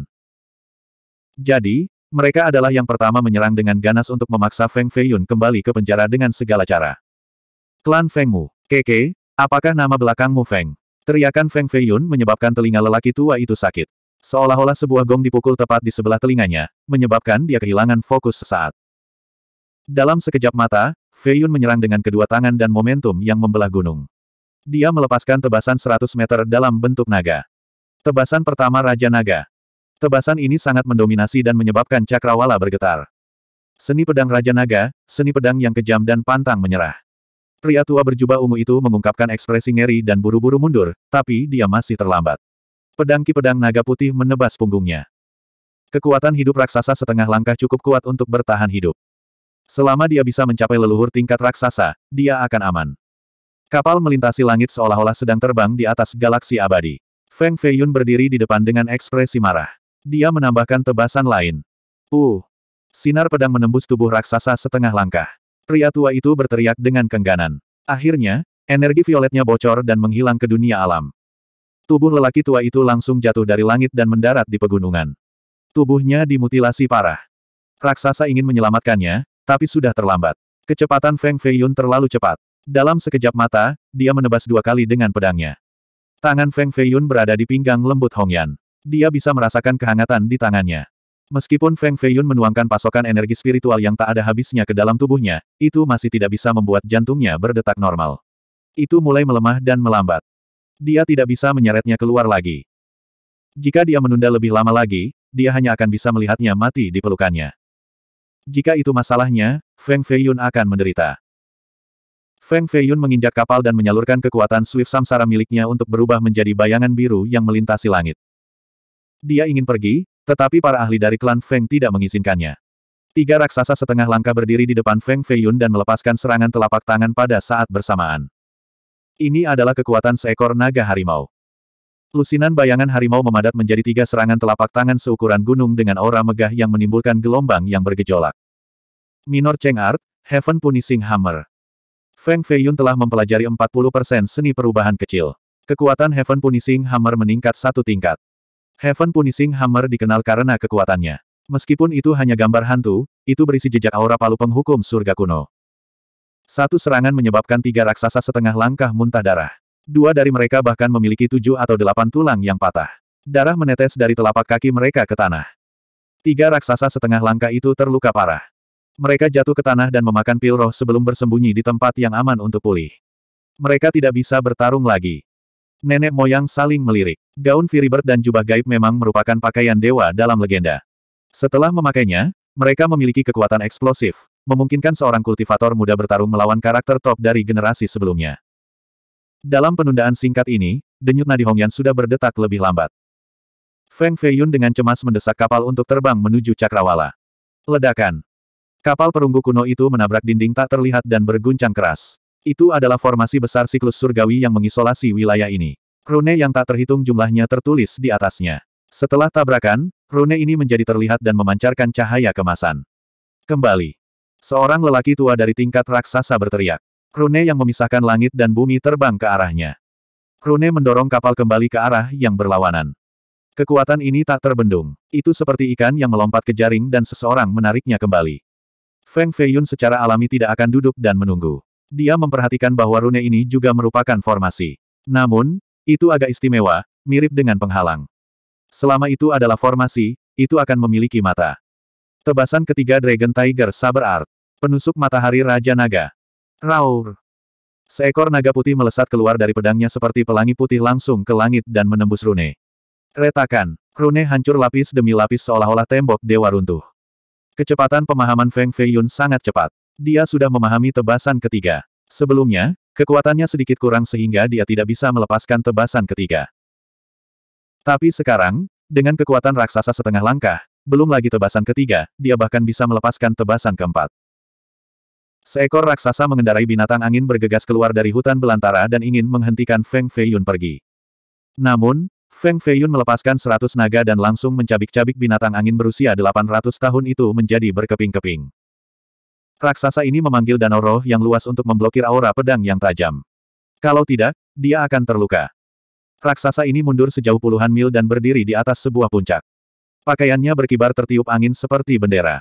Dia mengulurkan tangan dengan telapak tangannya, memperlihatkan bekas luka putih yang membuatnya sedikit sakit. Generasi muda memang tangguh. Tebasan Feng Feiyun sebelumnya hampir memotong kulitnya dari jarak seribu meter, menyebabkan dia berdarah. Setelah mengenakan pakaian dewa, kekuatannya sebanding dengan raksasa. Sepertinya lima pakaian dewa dalam legenda tidak bisa diremehkan. Salah satu dari mereka dapat meningkatkan kekuatan elemen lebih dari 10 kali lipat. Semua pembudidaya yang lebih tua tergoda. Awalnya, dengan tingkat kultivasi mereka, mereka meremehkan apa yang disebut jubah saleh. Namun, setelah menyaksikan kekuatannya malam ini, pemahaman mereka sebelumnya telah terbalik. Tampaknya semakin tinggi kultivasi seseorang, semakin kuat pakaian ilahi itu. Gaun Firibird dapat memungkinkan seseorang tanpa kultivasi apa pun untuk memiliki kekuatan pertempuran yang sebanding dengan raksasa setengah langkah. Jubah gaib memungkinkan para pembudidaya untuk menyembunyikan diri. Bahkan raksasa tidak akan bisa melihat mereka. Ini jelas merupakan harta ilahi untuk menyergap para ahli top. Pembunuh top dengan jubah ini bahkan bisa membunuh raksasa tertinggi. Gaun sembilan merpati dikabarkan menjadi baju besi setan. Setelah dipakai, seseorang akan mendapatkan kekuatan yang tak terbayangkan. Itu bahkan lebih misterius daripada Firibird Gaun dan dapat membantu raksasa tingkat tertinggi melawan makhluk yang tercerahkan. Gemuruh. Guntur memenuhi langit. Ular petir yang tak terhitung jumlahnya menari di langit. Hujan deras membasuh darah di tanah, membasahi pakaian semua orang. Petir menyambar dan melintasi dunia. Feng Mo berdiri di tengah puncak gunung, di luar sebuah istana yang tampak seperti istana sembilan langit. Di tengah hujan, seorang wanita cantik berdiri di belakangnya, memegang payung untuknya. Hujan menerpa payung, membuat suara, derau ketipak. Xiang Chen memegang payung dan berkata, leluhur, pada akhirnya tidak ada yang bisa menghentikannya. Dia tidak bisa kabur, dia ditakdirkan untuk menjadi anggota klan Feng. Feng Mo berdiri di bawah payung. Tatapannya menembus tirai hujan dan menatap langit di kejauhan. Ada kecemerlangan pandangan jauh ke depan di matanya. Gemuruh. Guntur lain melintas di langit dengan suara ledakan, menyebabkan awan gelap di langit bergetar. Hujan musim gugur tidak ada habisnya, tetapi hujan musim gugur pagi ini lebih ganas dari sebelumnya. Suara guntur telah menghancurkan impian banyak orang. Ledakan. Kapal perunggu kuno, yang telah terbang sejauh 600 mil, tiba-tiba berhenti. Itu jatuh dari langit dan menabrak tanah, menciptakan kawah besar. Feng Feiyun basah kuyup dan rambutnya berantakan. Matanya dipenuhi ketakutan saat dia meraih hidung Hong Yan dengan tangan gemetar. Di bawah hujan yang dingin, noda darah di tubuh Hong Yan meleleh menjadi genangan darah dan jatuh ke tanah. Wajah cantiknya sepucat selembar kertas putih, dan lengannya yang seperti batu giok sedingin dua es loli. Hanya merah samar yang tersisa di jubah putihnya. Dia sudah tidak bernapas lagi. Jantungnya telah berhenti berdetak. Tubuhnya sangat dingin dan ada senyum kaku di wajahnya. Dia tidak lagi bernapas. Sementara itu, hati Feng Feiyun bahkan lebih dingin, begitu dingin hingga darahnya seakan membeku. Dia meninggal di pelukan orang yang dia cintai, dengan senyum di wajahnya. Ah! Feng Feiyun memegang tubuh Hong Yan dan berdiri di bawah badai. Dia memberikan lolongan yang bergema dan menyayat hati. Untuk siapa si cantik tersenyum? Kapan si cantik pergi? Di dunia fana, hati tidak pernah menjadi tua. Tanpamu, orang-orang seperti rumput. Saat kecantikan menjadi tua, siapa yang akan mengecat alisnya? Suara indah dan suara sitar yang menyentuh itu masih melekat di telinganya. Saat itu, dia sangat cantik, seperti peri di dunia fana. Bahkan peri pun tidak bisa menyanyikan suara itu. Senyum Hong Yan membeku di wajahnya. Tidak ada gadis lain di dunia ini yang memiliki senyum seindah miliknya. Dia takut menjadi tua dan menjadi tua. Tapi sekarang, dia tidak takut lagi. Daun maple jatuh dari pegunungan sekitarnya. Daun maple merah berkibar di tengah hujan, seperti kupu-kupu merah di langit. Akhirnya, mereka layu dan jatuh ke dalam lumpur. Feng Feiyun berdiri di tengah hujan yang dingin. Air hujan menepuk kepala dan wajahnya, seolah langit pun menertawakannya, makhluk yang malang.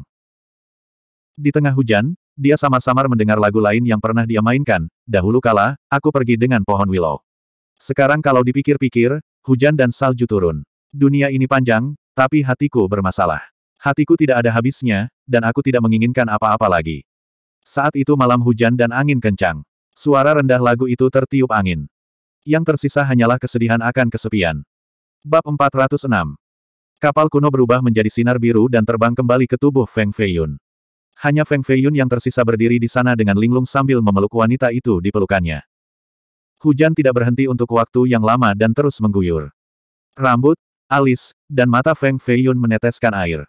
Wajahnya benar-benar basah kuyup saat dia berdiri di sana untuk waktu yang lama. Tiba-tiba, dia merasakan kehangatan di telapak tangannya. Feng Feiyun berdiri di sana dengan bingung. Tidak sampai telapak tangannya kesakitan, Feng Feiyun tiba-tiba terbangun dari kesedihannya. Oh, ini kekuatan tulang Phoenix.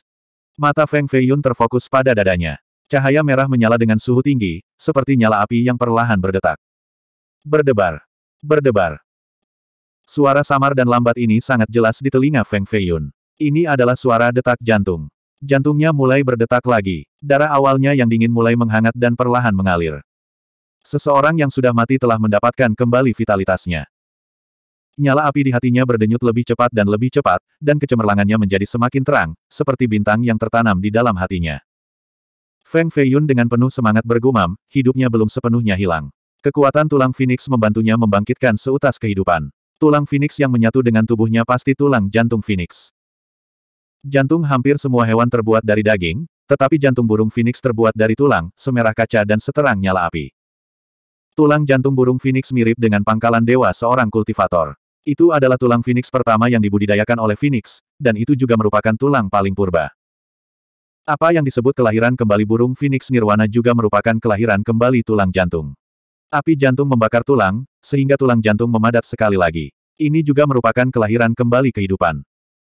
Selama burung Phoenix berhasil dilahirkan kembali, tulang jantungnya akan menjadi lebih ulet, dan kekuatan hidupnya juga akan menjadi lebih kuat. Tulang Phoenix normal secara alami tidak dapat membangkitkan kekuatan hidup seorang kultivator manusia, tetapi tulang jantung bisa. Meski darah di tubuh Hong Yan mulai bergerak lagi dan kekuatan hidupnya mulai pulih, dia tidak bangun. Dia seperti putri tidur. Dia hanya memiliki kekuatan nirvana, tetapi dia tidak memiliki energi spiritual yang dibutuhkan untuk nirvana. Paling lama dalam dua jam, kekuatan hidup di tubuhnya akan hilang lagi dan dia akan mati sepenuhnya. Sebuah suara tua terdengar di telinga Feng Feiyun. Langkah kaki bisa terdengar. Di tengah hujan berkabut, seorang lelaki tua berjalan perlahan. Feng Mo menginjak rerumputan basah dan berjalan keluar dari kegelapan. Wan Xiangchen berdiri di sampingnya dan memegang payung untuknya. Dia memiliki aroma yang mempesona dan terlihat sangat hidup. Air hujan mengalir turun dari daun payung seperti mutiara yang dirangkai, satu demi satu. Feng Feiyun melirik Feng Mo. Dia secara alami mengerti ini. Apa yang disebut ki spiritual yang dibutuhkan untuk nirvana mengacu pada ki sejati nirvana yang dimiliki oleh seorang guru spiritual. Makhluk tercerahkan adalah alam nirvana. Untuk menghidupkan kembali Hong Yan, makhluk tercerahkan harus mengambil tindakan. Berapa banyak makhluk tercerahkan yang ada di seluruh dinasti Jin? Selain itu, mereka harus menemukan makhluk tercerahkan ini dalam waktu dua jam. Hanya Feng Mo. Feng Feiyun menatap matanya yang tertutup dan dengan lembut menundukkan kepalanya untuk mencium bulu matanya. Berapapun harganya, Anda tidak bisa mati. Xiang Chen menatap Feng Feiyun yang berdiri di tengah hujan dengan rambut acak-acakan dan Hong Yan di pelukannya. Dia merasakan kepahitan yang tak terlukiskan di hatinya. Feng Mo menghela nafas, anak-anak akan selalu memberontak dan tidak patuh. Setelah mereka merasa cukup memberontak dan berlari ke tembok di mana-mana, mereka akan dipenuhi bekas luka dan tidak punya tempat tujuan. Sebenarnya rumah adalah tempat terhangat. Nak, kembalilah. Feng Feiyun mengatupkan kedua tangannya dan menggertakkan giginya. Ketika orang jahat menghajarmu sampai di ambang kematian kemudian keluar dan berpura-pura menjadi orang baik untuk membantumu sembuh, haruskah kamu menyerah atau menunggu kematian? Jika orang yang meninggal adalah Feng Feiyun sendiri, maka dia benar-benar tidak akan menyerah. Tapi, dia tidak punya pilihan lain. Jika seseorang terlalu lemah, terkadang, tidak ada pilihan lain. Dia harus membuat dirinya lebih kuat dia harus menjadi seseorang yang bisa menentukan nasib orang lain. Setengah bulan kemudian, ketika seorang wanita melepas pakaiannya untuk Anda, sebagai seorang pria, Anda harus membantunya mengenakannya kembali, sepotong demi sepotong. Feng Feiyun membantu Hong Yan mengenakan Firibird Gaun dan Cloak of Invisibility sebelum mengirimnya keluar dari Celestial Paradise. Sebelum pergi, dia menoleh ke belakang dengan senyum yang bisa membuat bunga mekar. Dia tidak mengatakan sepatah kata pun, semuanya ada di matanya. Feng Mo berdiri di belakang Feng Feiyun dan berkata, dia hanya akan menunda kultivasimu jika dia tetap di sini. Membiarkannya pergi adalah yang terbaik untuk kalian berdua. Feng Mo tidak mengizinkannya untuk tinggal di sisi Feng Feiyun jadi dia harus pergi. Saat ini, enam kabupaten di Grand Southern Prefecture adalah wilayahnya. Dia adalah master di sini. Kata-katanya adalah dekrit kekaisaran. Leluhur, kamu benar. Feng Feiyun tidak lagi memandang orang yang telah pergi jauh. Feng Mo mengangguk setuju, sebagai penerus klan Feng di masa depan, kultivasi Anda masih terlalu lemah. Banyak orang di generasi muda dapat mengalahkan Anda. Xiang Chen, bawa Feiyun ke pembuluh darah roh di bawah tanah untuk berlatih. Aku akan meninggalkan dia untuk Anda. Lakukan yang terbaik untuk memenuhi permintaannya. Jika Anda tidak bisa merawatnya, Anda tidak akan memenuhi syarat untuk menjadi menantu Feng. Xiang Chen mengangguk dan membawa Feng Feiyun ke pintu masuk Vena Roh. Feng Mo berdiri di puncak-puncak gunung tengah dengan tangan terlipat di belakang punggungnya. Dia menatap sungai dan gunung yang tak berujung di hadapannya. Matanya yang cekung dipenuhi dengan kecemerlangan yang dalam. Surga surgawi terletak di ujung nadi roh dengan energi roh yang sangat padat. Namun, Feng Mo tidak puas hanya dengan ini. Dia menggunakan teknik hebat untuk membawa urat roh di bawah surga surgawi bersama dengan empat yang lebih kecil yang panjangnya 100 mil. Mereka membentuk lingkaran di sekitar surga surgawi dan menempatkannya di tengah. Dia juga membangun lima istana budidaya di bawah tanah, yaitu Istana Pusat, Istana Kaisar Giok, Istana Barat, Istana Timur, Istana Selatan, dan Istana Utara. Hanya murid yang telah memberikan kontribusi besar kepada klan Feng yang dapat memasuki lima istana bawah tanah untuk berkultivasi. Energi roh di sini beberapa kali lipat dari dunia luar. Plus, mereka bahkan mungkin bisa mengambil batu roh dari pembuluh darah roh, sehingga kecepatan kultivasi mereka akan lebih cepat. Dengan kondisi kultivasi yang begitu baik, para pembudidaya yang bukan berasal dari klan Feng secara alami masuk ke surga-surga. Mampu berkultivasi di pembuluh darah bawah tanah adalah suatu kehormatan besar. Di antara mereka, Istana Kaisar Giok terletak di atas urat roh utama dengan energi roh terpadat. Hanya keturunan langsung dari klan Feng yang bisa masuk. Dalam perjalanan, Feng Feiyun bertemu dengan banyak keajaiban. Ada keajaiban yang menantang surga dari Valet Cloud Grotto, saudari junior dari gerbang surga pertama, dan tuan muda gerbang Dayan. Kekuatan ini sekarang menjadi pengikut klan Feng. Mereka harus menyapa murid langsung dari klan Feng, jika tidak, mereka akan dihukum berat. Feng Mo mengubah aturan klan. Mereka yang tidak berhubungan langsung dengan Feng akan memiliki status yang lebih rendah. Dia juga menetapkan hierarki yang ketat. Tiga tingkat yang lebih rendah itu harus berlutut di depan atasan mereka. Aturan klan bahkan lebih ketat daripada aturan dinasti Jin. Ada juga ruang penjara di Celestial Paradise. Siapa pun yang berani menentang kehendak ketua klan akan dikirim ke aula ini dan menderita hukuman yang lebih buruk daripada kematian. Ini hanyalah permulaan. Setelah menyempurnakan sistem klan dan memperkuat kerajaannya, tangan Feng Mo akan menjangkau seluruh dinasti Jin. Keributan muncul. Tuan muda ada di sini, tuan muda ada di sini. Keajaiban dari kekuatan bawahan, termasuk keturunan agunan, semua menjadi diam saat mereka menatap Feng Feiyun. Salam, Tuan Muda. Semuanya dengan hormat bersujud. Hanya keturunan langsung dari Feng tidak harus berlutut tapi mereka masih sedikit membungkuk.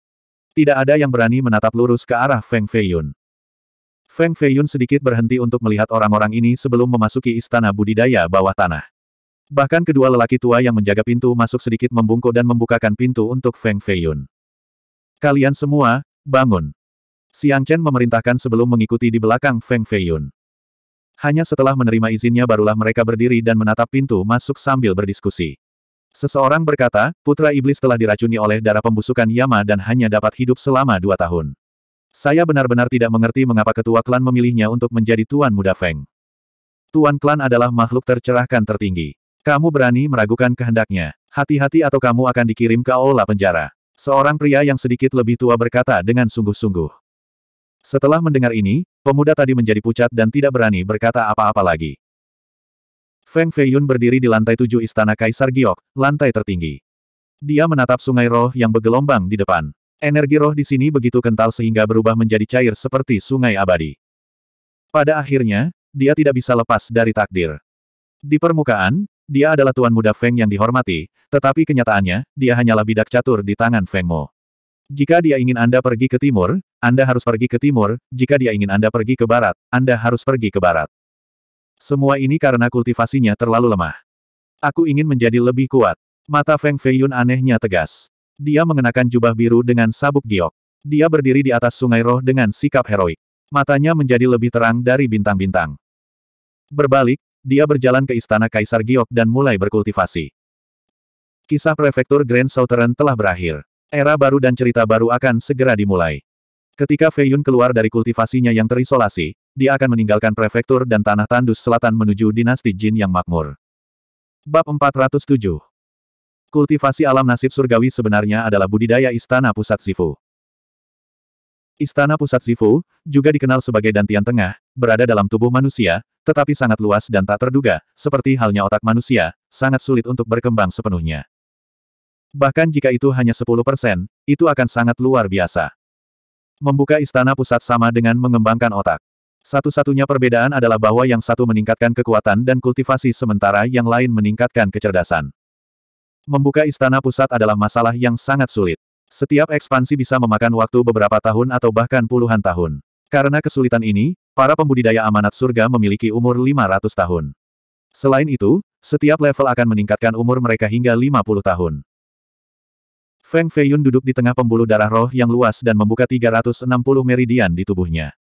Mereka berubah menjadi 360 pusaran dan dengan gila-gilaan menyerap energi roh di sekitarnya sebelum mengubahnya menjadi energi ungu di pusat dantiannya. Kultivator biasa pada mandat surga tingkat pertama hanya akan memiliki satu hingga sepuluh helai energi ungu. Namun, ketika Feng Feiyun mencapai level pertama, dia memiliki 100 helai energi ungu. Energinya terhubung ke awan dengan energi ungu yang agung. Tingkat pertama amanat surga adalah proses mengubah energi roh menjadi energi ungu. Hanya setelah mencapai 3000 helai energi ungu seseorang dianggap telah mencapai mandat surga tingkat kedua. Konversi dari energi roh menjadi energi ungu adalah proses yang sangat lambat. Seribu helai energi roh hanya bisa diubah menjadi satu helai energi ungu. Karena itu, setelah mencapai mandat surga, seseorang hanya dapat mengandalkan menyerap energi alam di dunia untuk mengubahnya menjadi energi ungu. Ini adalah proses yang sangat lambat. Pada saat ini, seseorang perlu menggunakan pembuluh darah dan batu roh. Tanpa kedua hal ini, kultivator akan selamanya terjebak di mandat surga tingkat pertama. Mereka tidak bisa mengubah 3000 helai energi ungu untuk mencapai mandat surga tingkat kedua. Ini juga mengapa persaingan di dunia kultivasi begitu ketat. Untuk sumber daya, dua kekuatan besar akan bertarung sampai mati dengan aliran darah yang mengalir. Saat mengubah spiritual kerajaan Valet, Feng Feiyun juga mempelajari kapal roh perunggu. Itu adalah kapal suci yang sederhana dan tanpa hiasan yang dia temui di jalan mata air kuning. Itu tertutup karat dan bobrok. Pasti ada sesuatu yang menghancurkan bumi yang tersembunyi di dalamnya.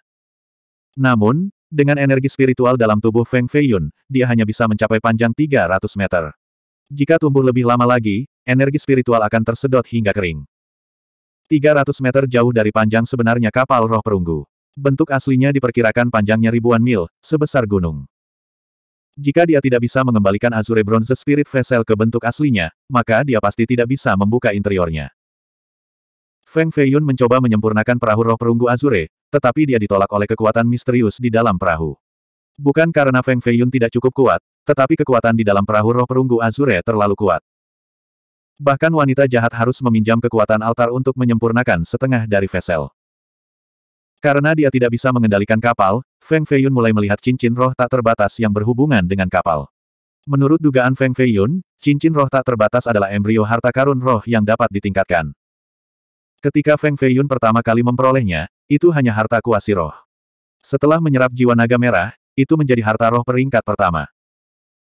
Jika aku bisa menyerap jiwa binatang berusia 800 tahun, maka aku seharusnya bisa meningkatkannya menjadi harta roh peringkat kedua. Feng Feiyun bermeditasi selama satu tahun. Selama waktu ini, Wan Xiangchen dan Little Demones datang.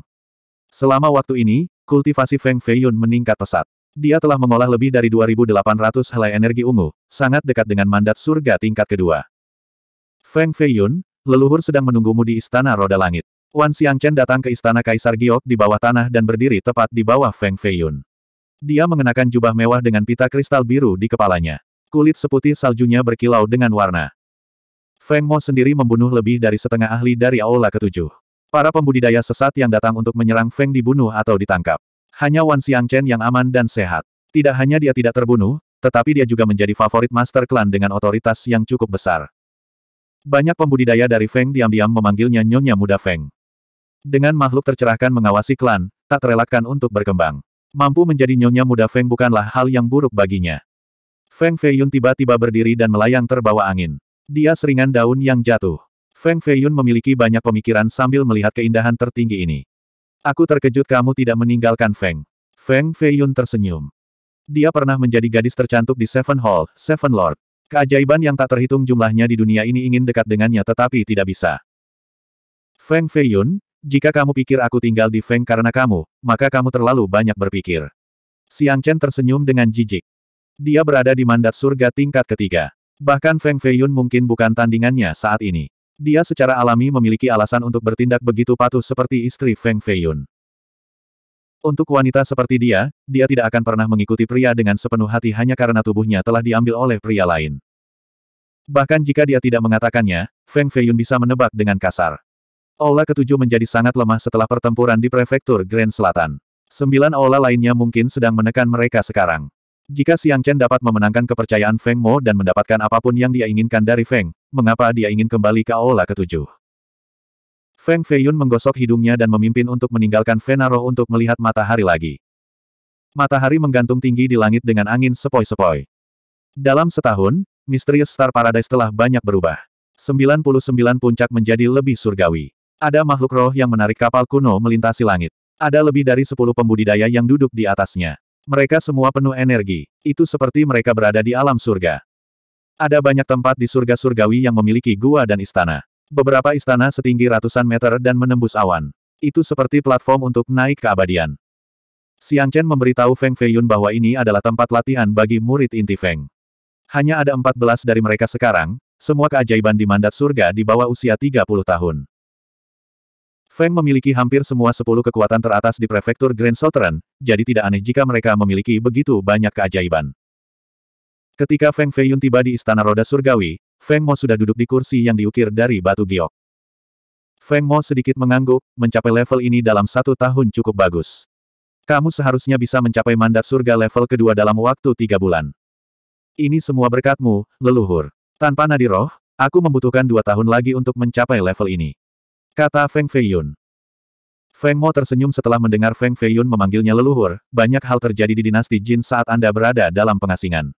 Tiga di antaranya mengguncang seluruh dunia kultivasi, jadi saya harus memberitahu Anda tentang mereka. Feng Feiyun berdiri tegak dan mendengarkan dengan penuh perhatian dengan sikap bermartabat.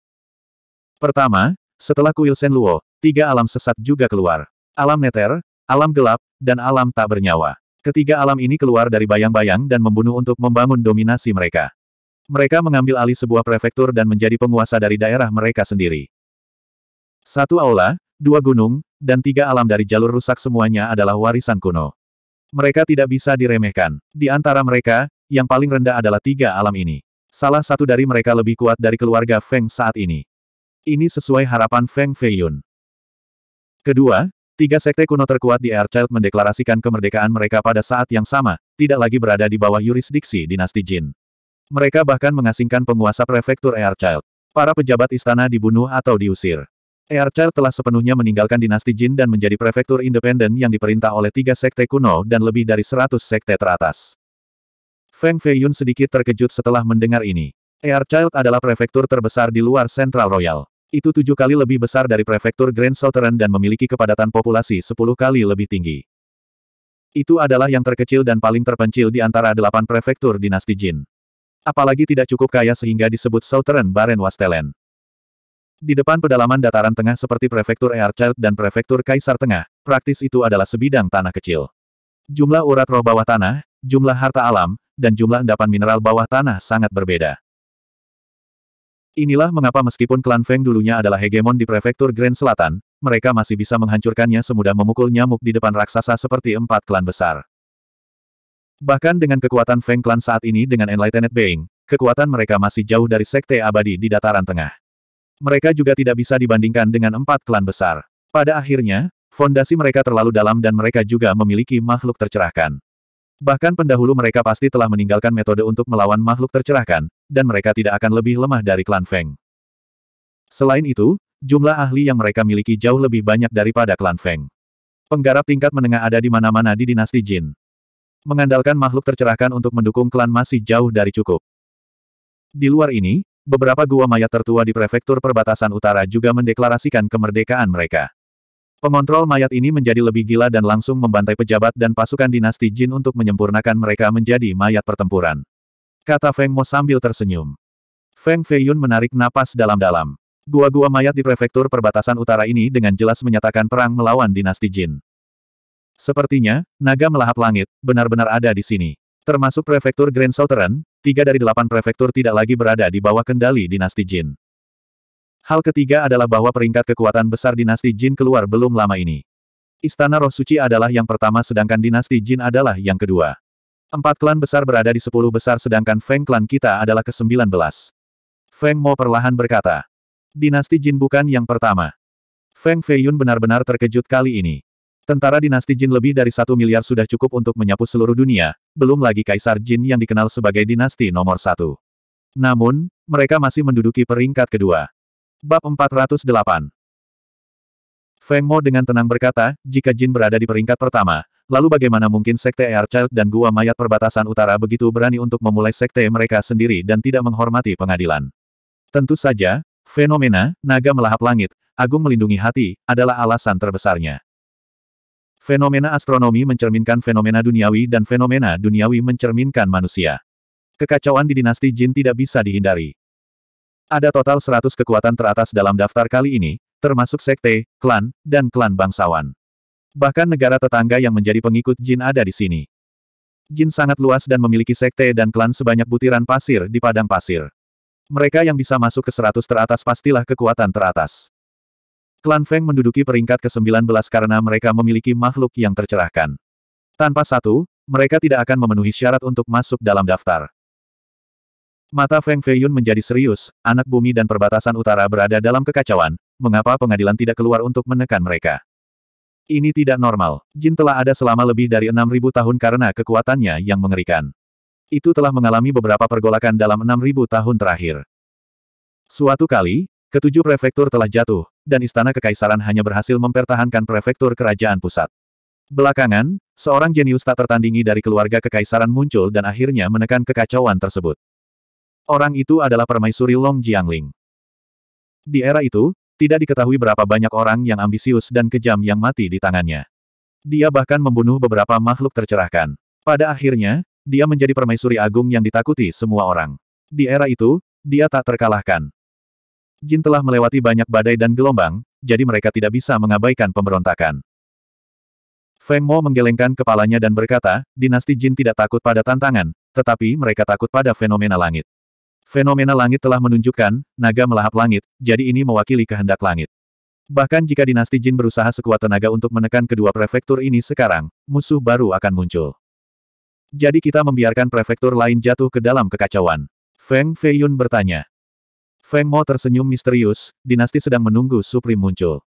Naga melahap langit, Supreme melindungi hati. Kata Feng Feiyun. Feng Mo mengangguk dan berkata, kehendak surga tidak dapat dilakukan. Bahkan Kaisar Jin pusing karena ini, jadi dia harus menemukan Supreme secepat mungkin. Hanya dengan mengendalikan Supreme seseorang dapat menaklukkan naga, seperti yang dilakukan Long Jiangling saat itu. Dia sendiri yang mendukung seluruh dinasti Jin. Kata Feng Feiyun. Feng Mo semakin menyukai Feng Feiyun. Tidak hanya dia berbakat, tetapi dia juga sangat cerdas. Dia menambahkan, pengadilan kekaisaran bukanlah orang yang duduk dan menunggu kematian. Mereka telah melakukan tindakan balasan. Feng Feiyun merenung sejenak sebelum menjawab, kekuatan besar dinasti Jin. Betul. Meskipun daftar ini tidak dibuat oleh pengadilan kekaisaran, saat dirilis, seluruh dunia kultivasi menjadi gempar. Penggarap juga manusia, mereka peduli dengan ketenaran dan kekayaan. Mereka yang memiliki peringkat tinggi dalam daftar tentu saja akan bangga pada diri mereka sendiri.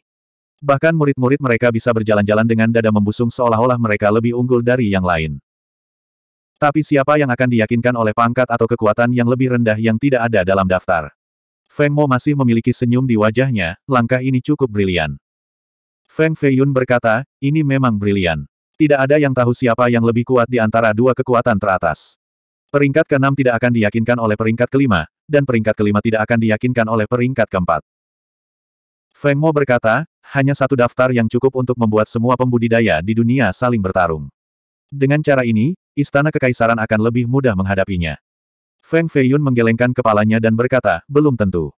Pada akhirnya, setiap sekte memiliki guru kebijaksanaan dengan kebijaksanaan luar biasa, jadi tidak mungkin bagi mereka untuk tidak mengetahui tipu muslihat Istana Kekaisaran. Plus, dinasti Jin sangat luas, jadi wajar jika dua kekuatan teratas dipisahkan beberapa puluh ribu mil. Bahkan jika ada konflik, itu tidak akan menjadi lebih buruk. Feng Mo tersenyum dan menganggukkan kepalanya, itulah sebabnya Kaisar Jin mengeluarkan keputusan, mengundang semua keajaiban di dunia untuk berkumpul di ibu kota untuk memilih pengantin pria untuk Putri Luofu. Apa? Feng Feiyun tidak bisa membantu tetapi berseru. Putri Luofu adalah putri kesayangan Kaisar, salah satu wanita paling menonjol di dunia. Dia memiliki lingkaran cahaya yang tak terhitung jumlahnya, kecantikan keempat dari dinasti Jin, seorang jenius sejarah agung, putri permaisuri Hua, seseorang dengan pemeliharaan besar untuk meninggalkan namanya di tablet suci. Salah satu dari kelebihannya akan dicari oleh semua wanita di dunia.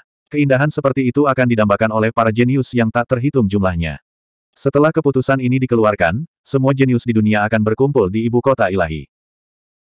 Feng Feiyun menjadi tenang setelah beberapa saat dan berkata, langkah ini bahkan lebih menakjubkan, membunuh lima burung dengan satu batu. Beritahu aku tentang itu, kata Feng Mo. Feng Feiyun berkata, pertama, jika semua keajaiban berkumpul di ibu kota, maka Supreme pasti akan pergi juga. Mungkin ini adalah salah satu niat dari klan kerajaan. Kedua, jika semua keajaiban pergi ke ibu kota, maka akan ada gesekan dan kebencian. Misalnya, Konflik tentang peringkat kekuatan besar pasti akan meningkat di ibu kota. Ketiga, saya telah bertemu Putri Luofu beberapa kali. Dia benar-benar putri kebanggaan surga. Dalam hal strategi, kebijaksanaan, dan kesombongan, saya khawatir tidak ada keajaiban di seluruh dinasti Jin yang dapat mengungguli dia. Bahkan jika aku menikahinya, aku tidak hanya tidak akan bisa mengendalikannya, dia juga akan mengendalikanku. Keempat, jika pernikahan berhasil, maka pengadilan akan mendapatkan sekutu yang kuat. Kelima, dan yang paling penting, akankah para pahlawan tak tertandingi ini dapat keluar dari ibu kota ilahi hidup-hidup? Senyum Feng Mo menjadi lebih cerah. Dia sangat puas dengan pertimbangan Feng Feiyun, semua orang tahu tentang hal-hal ini, tetapi mereka tidak punya pilihan selain pergi. Ingat bahwa ada pertarungan antara putra mahkota dan putri di ibu kota sekarang. Setelah meninggalkan namanya di tablet, dia mendapat dukungan dari banyak kekuatan dari pengadilan. Dia perlahan mendapatkan keunggulan. Jika dia bisa menyingkirkan putra mahkota, maka dia tidak hanya akan menikahi seorang putri, tapi juga calon permaisuri. Bagaimanapun, dinasti Jin masih berdiri kokoh. Menghancurkannya lebih mudah diucapkan daripada dilakukan. Kekuatan besar saat ini masih berpusat di sekitar dinasti Jin. Jika mereka bisa menjilatnya, maka mereka akan melakukan yang terbaik. Tidak ada yang bisa menjamin bahwa Long Luofu tidak akan menjadi Long Jiangling selanjutnya. Kata Feng Feiyun. Itu sebabnya semua keajaiban akan berjuang sampai mati untuk menikahi Putri Luofu. Feng Mo menyipitkan matanya dan menatap Feng Feiyun. Leluhur, kamu ingin aku pergi ke ibu kota? Feng Feiyun bertanya. Tentu saja kamu harus pergi, tapi aku tidak akan memaksamu untuk bersaing memperebutkan posisi pengantin pria. Ada hal lain yang harus kamu lakukan. Kata Feng Mo. Apa itu? Feng Feiyun merasa lega. Wan Xiangchen masuk saat ini dan berdiri di samping Feiyun. Dia anggun dan anggun, tampak seperti keindahan kota yang runtuh. Feng Mo memutar jarinya. Sebuah sinar keluar dari ujung jarinya. Itu dibungkus dalam kotak batu giok hitam sepanjang satu meter yang terlihat seperti peti mati kecil. Itu jatuh di depan Feng Feiyun. Kotak itu ditutupi rune terlarang dan memiliki dua gambar hantu. Meskipun tutupnya tertutup, indera tajam Feng Feiyun masih bisa merasakan energi jahat yang mengerikan datang dari dalam. Itu cukup menakutkan. Feng Mo berkata, bawa hadiah ini ke ibu kota dan temui keturunan luar biasa dari Gua Kehancuran, Wolong Seng. Kita akan membahas aliansi antara Feng dan Gua Kehancuran. Gua Kehancuran, Violet Sea, dan Gua Yin Void adalah tiga gua tertua di prefektur perbatasan utara. Mereka sangat kuat dan ditakuti oleh dunia. Di mana pertemuannya? Feng Feiyun bertanya. Jelas bahwa Feng dan Kehancuran telah mencapai kesepakatan. Perjalanan Feng Feiyun hanya untuk bertemu dengan perwakilan generasi muda dan menandatangani perjanjian untuk bertukar token aliansi. Feng Mo berkata, Xiang Chen akan mengurus ini untukmu. Feng Feiyun sedikit mengernyit. Dia telah mendengar bahwa Xiang Chen adalah putri tidak sah dari seorang penguasa gua kuno. Sepertinya dia mengacu pada gua kehancuran. Namun, Feng Feiyun masih ragu. Klan Feng berada di selatan prefektur Grand Selatan sedangkan gua penghancuran berada di utara. Mereka adalah dua kutub yang berlawanan, jadi mengapa aliansi antara keduanya begitu menarik? Feng Feiyun tidak bertanya lebih lanjut karena dia tidak mengatakan apa pun. Dia memasukkan kotak hitam itu ke dalam batu spasialnya dan berbalik untuk meninggalkan istana roda surgawi. Setelah satu tahun, dia akhirnya bisa meninggalkan tempat ini. Feng Feiyun penuh antisipasi. Semua pahlawan di dunia akan berkumpul di ibu kota. Ini jelas merupakan kumpulan para pahlawan. Teman dan musuh, percikan api seperti apa yang akan muncul saat mereka bertemu. Teman. Feng Feiyun memikirkan yang Noble Flawless dan Bining Suai. Dia bertanya-tanya apakah mereka akan datang. Jika Bining Sui melarikan diri dari genggaman tunangannya, maka dia pasti akan ikut bersenang-senang. Bagaimana dia bisa melewatkan kesempatan sebesar ini? Feng Feiyun juga memikirkan tentang Hong Yan. Mungkin dia akan pergi juga. Itu adalah perjalanan panjang dari prefektur Grand Southern ke ibu kota. Butuh beberapa ratus ribu mil. Feng Feiyun pergi untuk mengucapkan selamat tinggal kepada kakeknya, paman pertama, dan paman kedua sebelum meninggalkan surga surgawi. Feng Feiyun melihat bos ketiga dengan celana merah dan akhirnya tahu bahwa tongkat tua ini adalah kakek-kakeknya. Sebelum malam tiba, Feng Feiyun akhirnya meninggalkan surga surgawi hanya dengan Xiang Chen, dua pelayan, dan empat penjaga lapis baja. Pelayan dan penjaga juga tidak biasa. Kedua pelayan itu adalah keajaiban dari Violet Cloud Grotto. Mereka adalah saudara kembar di alam dewa pencapaian besar bernama, Violet Orchid, dan Violet Heart. Keempat penjaga dipilih dari murid inti klan Feng. Mereka semua berada di mandat surga tingkat pertama. Meskipun klan Feng lemah, mereka masih harus tampil bagus. Lagi pula, mereka akan pergi ke ibu kota kali ini. Jika rombongan terlalu lusuh, bukankah itu akan menjadi aib bagi klan Feng? Dinasti Jin menduduki peringkat ke-19, jadi mereka tidak bisa dipandang rendah. Bab 409 Semua jalan mengarah ke ibu kota ketuhanan. Ibu kota ketuhanan terletak di pusat dinasti Jin dan menempati puncak nasib surga. Itu adalah penguasa dunia dan kepala Dragon Veins. Itu terletak di prefektur kerajaan pusat di tepi sungai Jin. Dulu disebut, ibu kota Jin, tetapi alasan mengapa diubah menjadi ibu kota Sen, adalah karena 4000 tahun yang lalu, seseorang menggali patung dewa setinggi 1874 zang di tepi sungai Jin. Munculnya patung itu mengguncang dunia, dan nama, ibu kota Jin, diubah menjadi ibu kota Sen, agar sesuai dengan kehendak langit.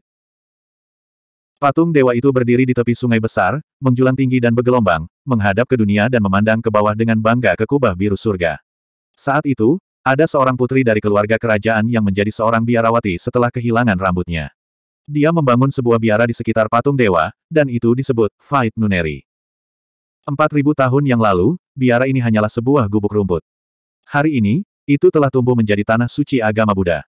Inilah yang didengar Feng Feiyun dari Wan Xiangchen. Satu hari lagi dan kita harus bisa mencapai biara. Begitu kita sampai di sana, itu hanya setengah hari perjalanan ke ibu kota ketuhanan. Wan Xiangchen duduk di bawah lampu. Wajahnya seindah batu giok dan matanya yang indah sangat jernih seperti dua potong kaca.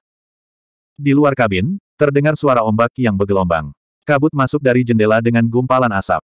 Ini adalah kapal perang Gading Merah yang menuju ke ibu kota ketuhanan. Sudah setengah bulan sejak mereka meninggalkan prefektur Grand Southern dan telah memasuki wilayah prefektur Kerajaan Tengah. Kapal perang Gading Merah dapat melakukan perjalanan 30.000 mil dalam sehari, bahkan lebih cepat dari seorang pembudidaya amanat surga. Master Pandai Besi Agung menghabiskan beberapa ratus tahun dan jutaan pon bahan roh untuk menyempurnakannya. Ketika pembudidaya melakukan perjalanan ke prefektur lain, mereka harus menggunakan kapal perang Gading Merah. Kapal perang gading merah menyerap esensi yang mendalam dari matahari dan mengubahnya menjadi energi. Kecepatannya adalah yang tercepat di siang hari, tetapi jauh lebih lambat di malam hari. Pada saat ini, tidak lama kemudian malam. Para pembudidaya di kapal perang gading merah semuanya telah memasuki budidaya. Hanya beberapa pembudidaya muda yang belum pernah melakukan perjalanan jauh sebelumnya yang masih berdiri di dek setinggi 100 meter, menikmati angin dan menatap bulan. Feng Feiyun berkata, patung setinggi 1874 zang, dan itu digali dari sungai. Aku harus pergi dan melihatnya sendiri. Siang Chen tersenyum, setiap pembudidaya yang pergi ke ibu kota akan memberikan penghormatan kepada patung itu. Ada begitu banyak keajaiban yang pergi ke ibu kota akhir-akhir ini. Mungkin kita akan melihat banyak keajaiban di biara besok. Itu bukan urusanku. Feng Feiyun datang ke ibu kota peri semata-mata untuk menyelesaikan tugas yang diberikan Feng Mo kepadanya. Di saat yang sama, dia ingin menyaksikan kemakmuran kota legendaris nomor satu di segala usia. Dia benar-benar tidak terlalu memikirkan hal-hal lain.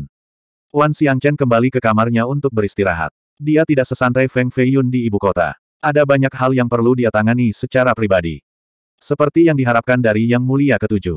Dia benar-benar bisa berbicara dengan seorang pria yang memperkosanya dengan sangat tenang di tengah malam. Keadaan pikirannya bukanlah sesuatu yang bisa dibandingkan dengan wanita biasa. Feng Feiyun tersenyum dan menatap Wan Xiangchen. Dia menarik napas dalam-dalam dan masih bisa mencium aromanya yang mempesona di udara.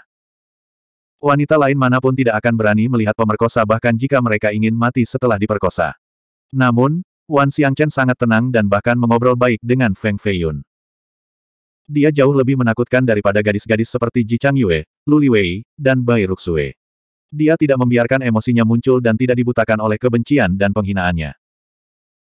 Feng Feiyun menjadi lebih berhati-hati terhadap Wan Xiangchen dan memperingatkan dirinya sendiri bahwa ini adalah penguasa sesat, bukan gadis lemah yang akan tunduk pada penghinaan. Setelah meninggalkan Grand Southern, Feng Feiyun membenamkan dirinya dalam kultivasi setiap hari untuk mencapai mandat surga tingkat kedua. Namun, dia tidak bisa bermeditasi malam ini seolah-olah ada sesuatu yang mengganggu pikirannya. Pada akhirnya, Feng Feiyun meninggalkan ruangan dan berdiri di lantai enam koridor kayu ulin merah. Dia mengangkat kepalanya dan bisa melihat formasi delapan trigram melayang di udara. Ada juga kompas cahaya roh di tengah formasi. Ini adalah hal yang mengumpulkan energi dan arah kapal perang Gading Merah. Di bagian bawah koridor berlantai enam ada dek yang panjangnya hampir seribu meter. Kapal sebesar itu seperti monster baja yang berkeliaran di sungai. Besok, Pilar Beauty Smile akan pergi ke Biki Yununeri untuk berdoa memohon berkah. Guru memerintahkan kami untuk menangkapnya apa pun yang terjadi dan membawanya kembali ke ibu kota ilahi. Suara suram datang dari salah satu kabin. Meskipun ada penghalang kedap suara di sekitar kabin, Feng Feiyun samar-samar masih mendengar kata-kata, senyum cantik. Dia menjadi lebih perhatian setelah mendengar kata-kata, Beauty Smile. Dia berpikir sendiri, Hong Yan punya saudara perempuan yang dibeli di Beauty Smile, rumah bordil nomor satu di dunia. Dengan mengingat hal ini, Feng Feiyun memfokuskan telinganya dan mendengarkan dengan cermat. Suara lain datang dari kabin, Tuan berbicara tentang keindahan seruling, seorang maestro musik, Xiao Xiang Ye. Huff, dia hanya pelacur, maestro musik, dia hanya pelacur.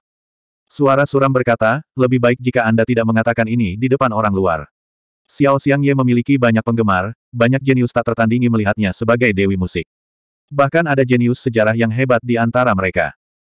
Feng Feiyun telah lama mendengar bahwa ibu kota adalah tempat berkumpulnya bangsawan dan bangsawan. Pengadilan kerajaan memiliki sejarah lebih dari 6.000 tahun dan telah melahirkan faksi bangsawan yang tak terhitung jumlahnya. Yang terkemuka adalah tiga adipati agung dan 18 faksi markis. Ada juga banyak keluarga bangsawan dengan berbagai ukuran, berjumlah puluhan juta. Para bangsawan ini semuanya sangat kuat dan kuat. Mereka telah memelihara banyak pembudidaya yang kuat. Beberapa bangsawan yang lebih tidak mencolok bahkan mungkin memiliki kekuatan untuk menghancurkan sekte abadi. Setiap orang harus menjaga profil rendah di ibu kota immortal. Siapa pun di sana mungkin memiliki status yang luar biasa. Kelompok aristokrat ini dibagi menjadi banyak aliran, yang paling umum adalah aliran elegan. Para bangsawan ini sangat peduli dengan reputasi mereka, terutama para wanita bangsawan. Mereka menyukai keanggunan dan keanggunan, dan sangat menghormati musik dan sastra. Ini jelas bukan sesuatu yang bisa dilihat di luar ibu kota ilahi. Semua sekte dan keluarga abadi utama sudah berjuang untuk mendapatkan sumber daya. Yang mereka inginkan hanyalah menjadi lebih kuat. Siapa yang mau peduli dengan sastra atau musik? Karena atmosfer tersebut, para seniman di ibu kota berstatus dewa. Mereka disebut maestro. Banyak bangsawan muda yang tidak peduli dengan uang atau bahkan duel sampai mati hanya untuk mendengarkan lagu mereka.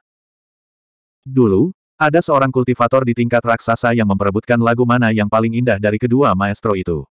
Pada akhirnya, keajaiban muda juga melompat keluar untuk memperjuangkan Dewi yang mereka dukung. Ini tidak jarang di ibu kota. Ye Xiao Xiang, dari Beauty Smile adalah maestro paling populer di ibu kota. Dia cantik, tapi lagunya sedih. Siapa yang tahu berapa banyak orang yang meneteskan air mata setelah mendengarnya. Bahkan beberapa jenius sejarah agung yang terkenal di dunia adalah tamunya. Jika ada yang berani mengatakan hal buruk tentangnya, sekelompok besar pahlawan akan keluar dan memotong orang itu menjadi pasta daging. Tuan itu juga penggemar Maestro Ye. Kalian hanya akan menangkapnya. Jika kamu menyakitinya sedikit saja, tuannya tidak akan senang. Suara itu berangsur-angsur menghilang dan tidak dapat didengar dengan jelas lagi. Feng Feiyun mengungkapkan senyum penuh pengertian. Sudah ada pertunjukan yang bagus untuk ditonton bahkan sebelum memasuki ibu kota. Yang disebut tuan ini sebenarnya adalah orang besar di ibu kota yang ingin menjadikan Dewi sebagai istana pribadinya. Namun, dia takut orang lain akan mengetahuinya, jadi dia meminta bantuan orang luar. Budaya di ibu kota sangat boros. Jika mereka tidak menghormati kultivasi, maka mereka pasti akan jatuh. Tidak heran mengapa semua pembudidaya di dunia ingin memberontak. Sepertinya bukan hanya karena fenomena astronomi. Feng Feiyun menyesali. Siang hari di hari kedua, kapal perang Gading Merah akhirnya tiba di biara. Itu bukan hanya kapal perang Feng Feiyun. Banyak kapal lain berhenti di sini dengan keajaiban yang tak terhitung jumlahnya turun. Ada prajurit barbar dari Jiang kuno, murid sekte abadi dari anak bumi, dan pengontrol mayat dari perbatasan utara. Keajaiban muda ini datang dari seluruh dunia. Mereka semua turun di Fight Convent dan mengikuti tangga batu kuno yang telah ada selama ribuan tahun untuk melintasi punggung gunung untuk berdoa. Patung setinggi 1874 kaki itu digali dari seberang sungai. Patung itu sekarang tersembunyi di balik gunung, tapi kita akan bisa melihatnya saat mencapai puncak. Kata Xiang Chen. Feng Feiyun tepat di belakangnya. Di belakangnya ada pelayan kembar berbaju ungu dan empat penjaga lapis baja. Ketika mereka mencapai puncak gunung dan melihat patung itu, Feng Feiyun membatu. Seolah-olah dia disambar petir. Emosi yang tak terlukiskan keluar dari hatinya, membuatnya merasa seperti akan runtuh. Bagaimana? Bagaimana ini mungkin? Itu patungnya? Bagaimana bisa digali dari sungai Jin? Apa yang sedang terjadi? Feng Feiyun bergumam pada dirinya sendiri sambil menatap patung itu. Xiang Chen memperhatikan bahwa ekspresi Feng Feiyun aneh. Itu sangat pucat dengan butir-butir keringat mengalir di dahinya. Mungkinkah darah pembusukan Yama di tubuhnya bertingkah lagi? Apa yang salah? Feng Feiyun meraih lengannya dan bertanya, apakah Anda yakin patung ini digali dari sungai Jin 4000 tahun yang lalu? Xiang Chen tercengang oleh pertanyaan itu. Seorang pembudidaya muda yang juga datang untuk menyembah patung itu menjawab setelah mendengar pertanyaan Feng Feiyun, tentu saja 4000 tahun yang lalu. Ada catatan rincin tentang apa yang terjadi saat itu di biara. Saudaraku, jika Anda tidak mempercayai saya, Anda bisa pergi dan membacanya. Pria lain dengan jubah mewah datang bersama pembudidaya muda. Dia berkata, Xiao Xiang of Beauty Smile akan datang ke biara hari ini. Banyak keajaiban sudah menunggu di platform As Buddha. Saya mendengar bahwa jenius sejarah Dongfang Jingsui juga akan datang. Feng Feiyun tidak bisa tenang untuk waktu yang lama. Dia menatap patung itu lagi dan menghela nafas. Wajah pucatnya masih tanpa darah. Bab 410. Saudaraku, bagaimana aku harus memanggilmu? Feng Feiyun mencoba yang terbaik untuk menyesuaikan keadaan pikirannya, tetapi pikirannya masih penuh dengan emosi. Dia tidak bisa menenangkan mereka, menyebabkan jiwanya bergetar. Bagaimana patung yang digali lebih dari 4.000 tahun yang lalu bisa begitu mirip dengannya? Segalanya tampak seperti mimpi. Kedua pemuda yang berdiri di puncak gunung itu berpakaian bagus dan berpenampilan anggun. Sebelumnya, mereka dengan ramah mengingatkan Feng Feiyun karena mereka dapat melihat bahwa Feng Feiyun memiliki aura yang luar biasa dan ingin berteman dengannya. Pria di sebelah kiri agak tinggi dan kurus dengan alis tebal. Dia tampak cukup bangga saat dia tersenyum dan berkata, fraksi Markis Harimau Surgawi, Li Fengxin. Markis Harimau Surgawi memiliki lebih dari 100 juta tentara di bawah komandonya. Dia adalah bangsawan kelas 1. Markis Macan Langit pertama adalah seorang jenderal berjasa yang berjuang bersama Kaisar Jin. Dengan kata lain, fraksi Markis Harimau Surgawi memiliki sejarah lebih dari 6.000 tahun. Itu telah menghasilkan banyak karakter yang menghancurkan bumi. Kekuatannya di ibu kota bisa dikatakan maha kuasa. Ini adalah klan kekuatan nyata dengan banyak pahlawan. Tidak heran mengapa Li Fengxin begitu sombong. Dengan gelar Heavenly Tiger Marquis, dia memang bisa melakukan apa pun yang dia inginkan di ibu kota. Pria di sebelah kanan mengenakan jubah Daois biru. Dia masih sangat muda, sekitar 17 atau 18 tahun. Dia berkata, sekolah sejati yang mendalam, Suming. Sekolah sejati yang mendalam adalah salah satu dari lima aliran Taoisme. Sebagian besar pembudidaya adalah pembudidaya gelandangan yang mengikatkan diri pada para bangsawan di ibu kota dan menjadi pengikut mereka. Kedua pemuda ini memiliki kultivasi yang luar biasa. Cahaya di dantian mereka seterang matahari dengan udara yang anggun. Bolehkah aku bertanya dari mana asalmu, kakak? Li Fengxin memperhatikan bahwa Feng Feiyun berpakaian bagus dan tidak bisa melihat melalui kultivasinya. Apalagi, ada kecantikan memikat di sebelahnya. Para pelayan dan penjaga semuanya bersemangat. Jelas, mereka berasal dari sekte atau klan besar. Feng Feiyun melirik patung tinggi itu dan menjadi linglung. Wan Xiangchen, yang berdiri di sampingnya, berbicara terlebih dahulu, kami adalah murid dari sekte kecil di prefektur Grand Southern. Kami hanya datang ke ibu kota untuk memperluas wawasan kami. Prefektur Grand Southern hanyalah gurun dari orang barbar selatan. Itu memang bukan apa-apa bagi keturunan kerajaan di ibu kota. Di mata mereka, 90% master sebenarnya dikumpulkan di Central Royal Prefecture dan Earth Child Prefecture. Ini adalah tanah subur sejati di Central Plains. Feng Feiyun secara alami mengerti mengapa Wan Xiangchen mengatakan ini. Lagi pula, mereka datang ke ibu kota untuk membahas aliansi dengan Destruction dan Core Cave, jadi mereka harus tetap low profile. Feng Xin sangat bersemangat, saya mendengar klan Feng dari prefektur Grand Selatan memiliki putra iblis, yang dianggap sebagai orang nomor satu di dinasti Jin. Pernahkah Anda melihatnya sebelumnya? Bahkan Zuming dari Sekte Suan Zhen mengalihkan pandangannya, jelas sangat tertarik. Wan Xiangchen berpikir bahwa dia bisa tetap rendah hati, tetapi dia tidak tahu bahwa prefektur Grand Southern telah mengejutkan dunia. Itu bukan lagi gurun di masa lalu. Feng Feiyun dan Wan Xiangchen saling melirik. Feng Feiyun dengan canggung tersenyum, putra iblis itu adalah drogan di antara manusia, mutiara cerah dari prefektur Grand Selatan. Bagaimana karakter kecil seperti kita bisa bertemu dengannya? Li Fengxin mengangguk, bahkan penguasa ketujuh kuil Shen Luo sedang tidur dengannya. Keajaiban yang berani seperti itu memang langka. Senyum di wajah Feng Feiyun membeku. Sementara itu, Wan Xiangchen sangat marah. Mendesah. Tidak apa-apa jika Anda belum pernah melihatnya sebelumnya. Kudengar putra iblis itu diracuni oleh darah pembusukan Yama jadi dia hanya punya waktu dua tahun lagi. Sudah lebih dari satu tahun sekarang, jadi energi darahnya pasti melemah seiring dengan kultivasinya. Mungkin dia telah meninggal di rawa di suatu tempat. Su Ming berkata. Feng Feiyun mengangguk berulang kali dan rombongan menuju biara. Feng Feiyun gelisah dan memiliki ekspresi jelek di sepanjang jalan. Mengapa patung Sui Yueting ada di sini? Itu digali dari sungai Jin lebih dari 4.000 tahun yang lalu. Dengan kata lain, patung ini telah ada lebih dari 4.000 tahun.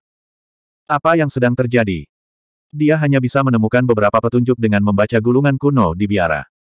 Biara itu terletak di sebelah utara patung. Puncaknya menembus awan entah berapa ribu meter. Jalan batu tua mengarah langsung ke puncak dengan gemuruh lonceng dan himne Buddhis yang tenang. Kadang-kadang, seseorang akan melihat seorang biksu muda membawa air sambil melantunkan kitab suci Buddha. Rumah Yusou juga merupakan tempat suci agama Buddha. Namun, itu berbeda dari rumah Yusou. Rumah Yusou hanya menerima murid perempuan dan membiarkan mereka berkultivasi sambil menata rambut mereka. Namun, para murid di biara harus mencukur rambut mereka. Selain itu, mereka dibagi menjadi Aula Jialan dan Aula Arhat.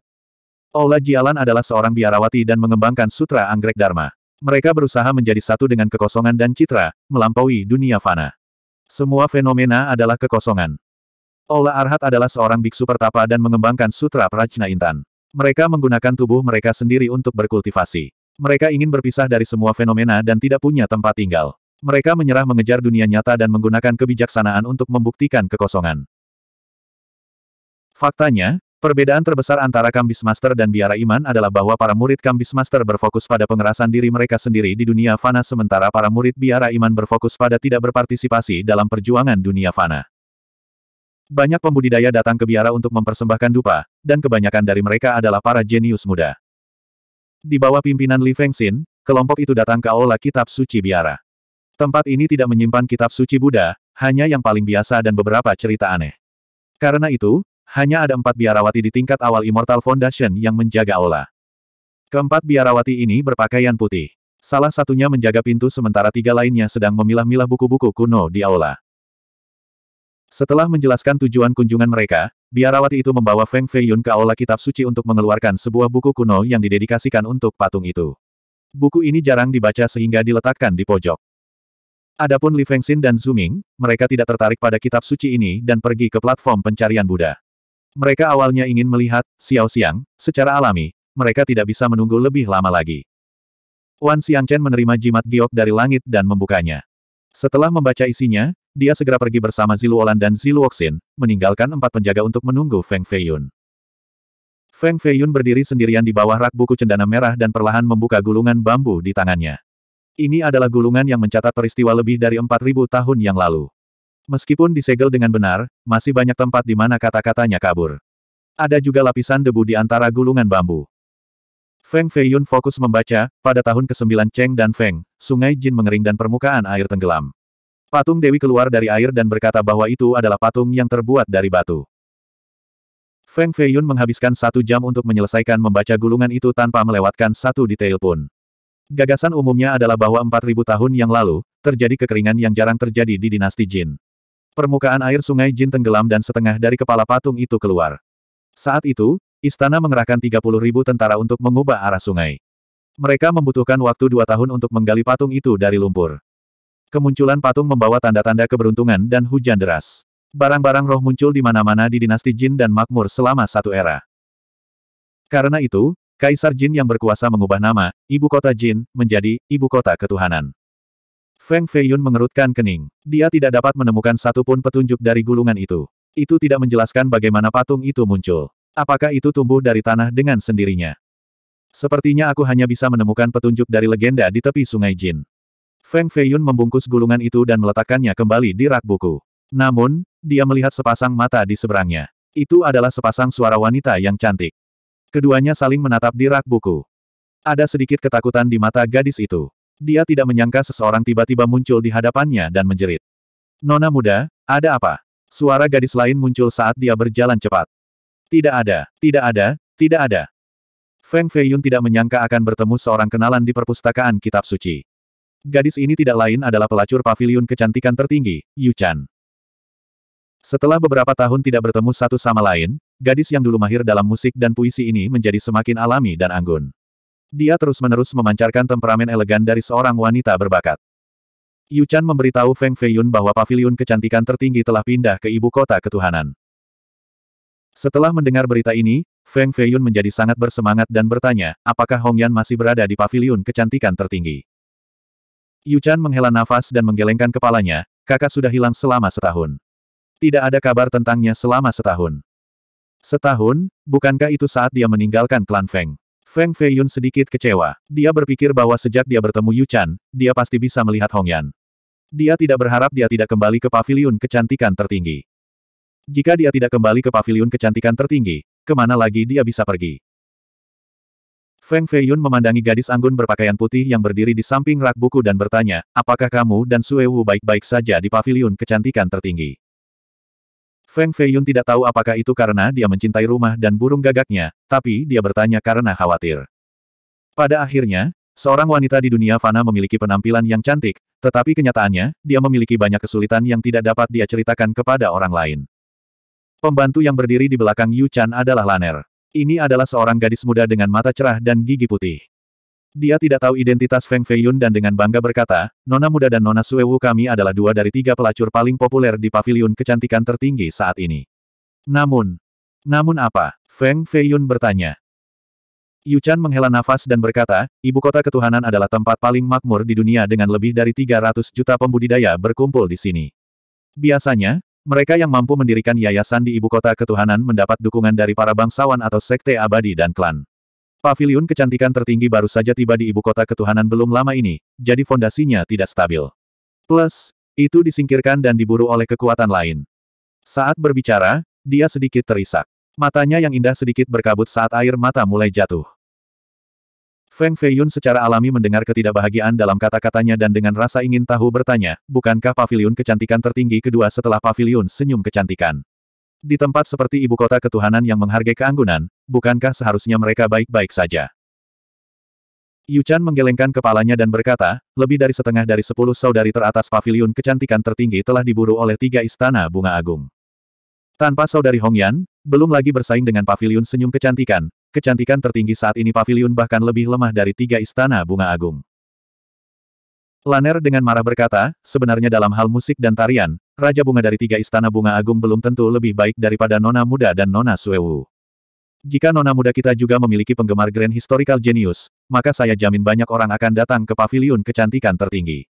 Dia juga akan setenar Raja Bunga dari tiga istana bunga agung. Mengapa penggemar Grand Historical Genius memiliki kekuatan pendorong yang begitu kuat? Feng Feiyun tidak begitu mengerti. Laner menjelaskan, sebagian besar orang yang datang ke tempat ini masih muda, dan yang paling luar biasa di antara mereka adalah 20 jenius sejarah besar di daftar atas dan bawah. Mereka adalah idola di hati anak muda di sini dunia.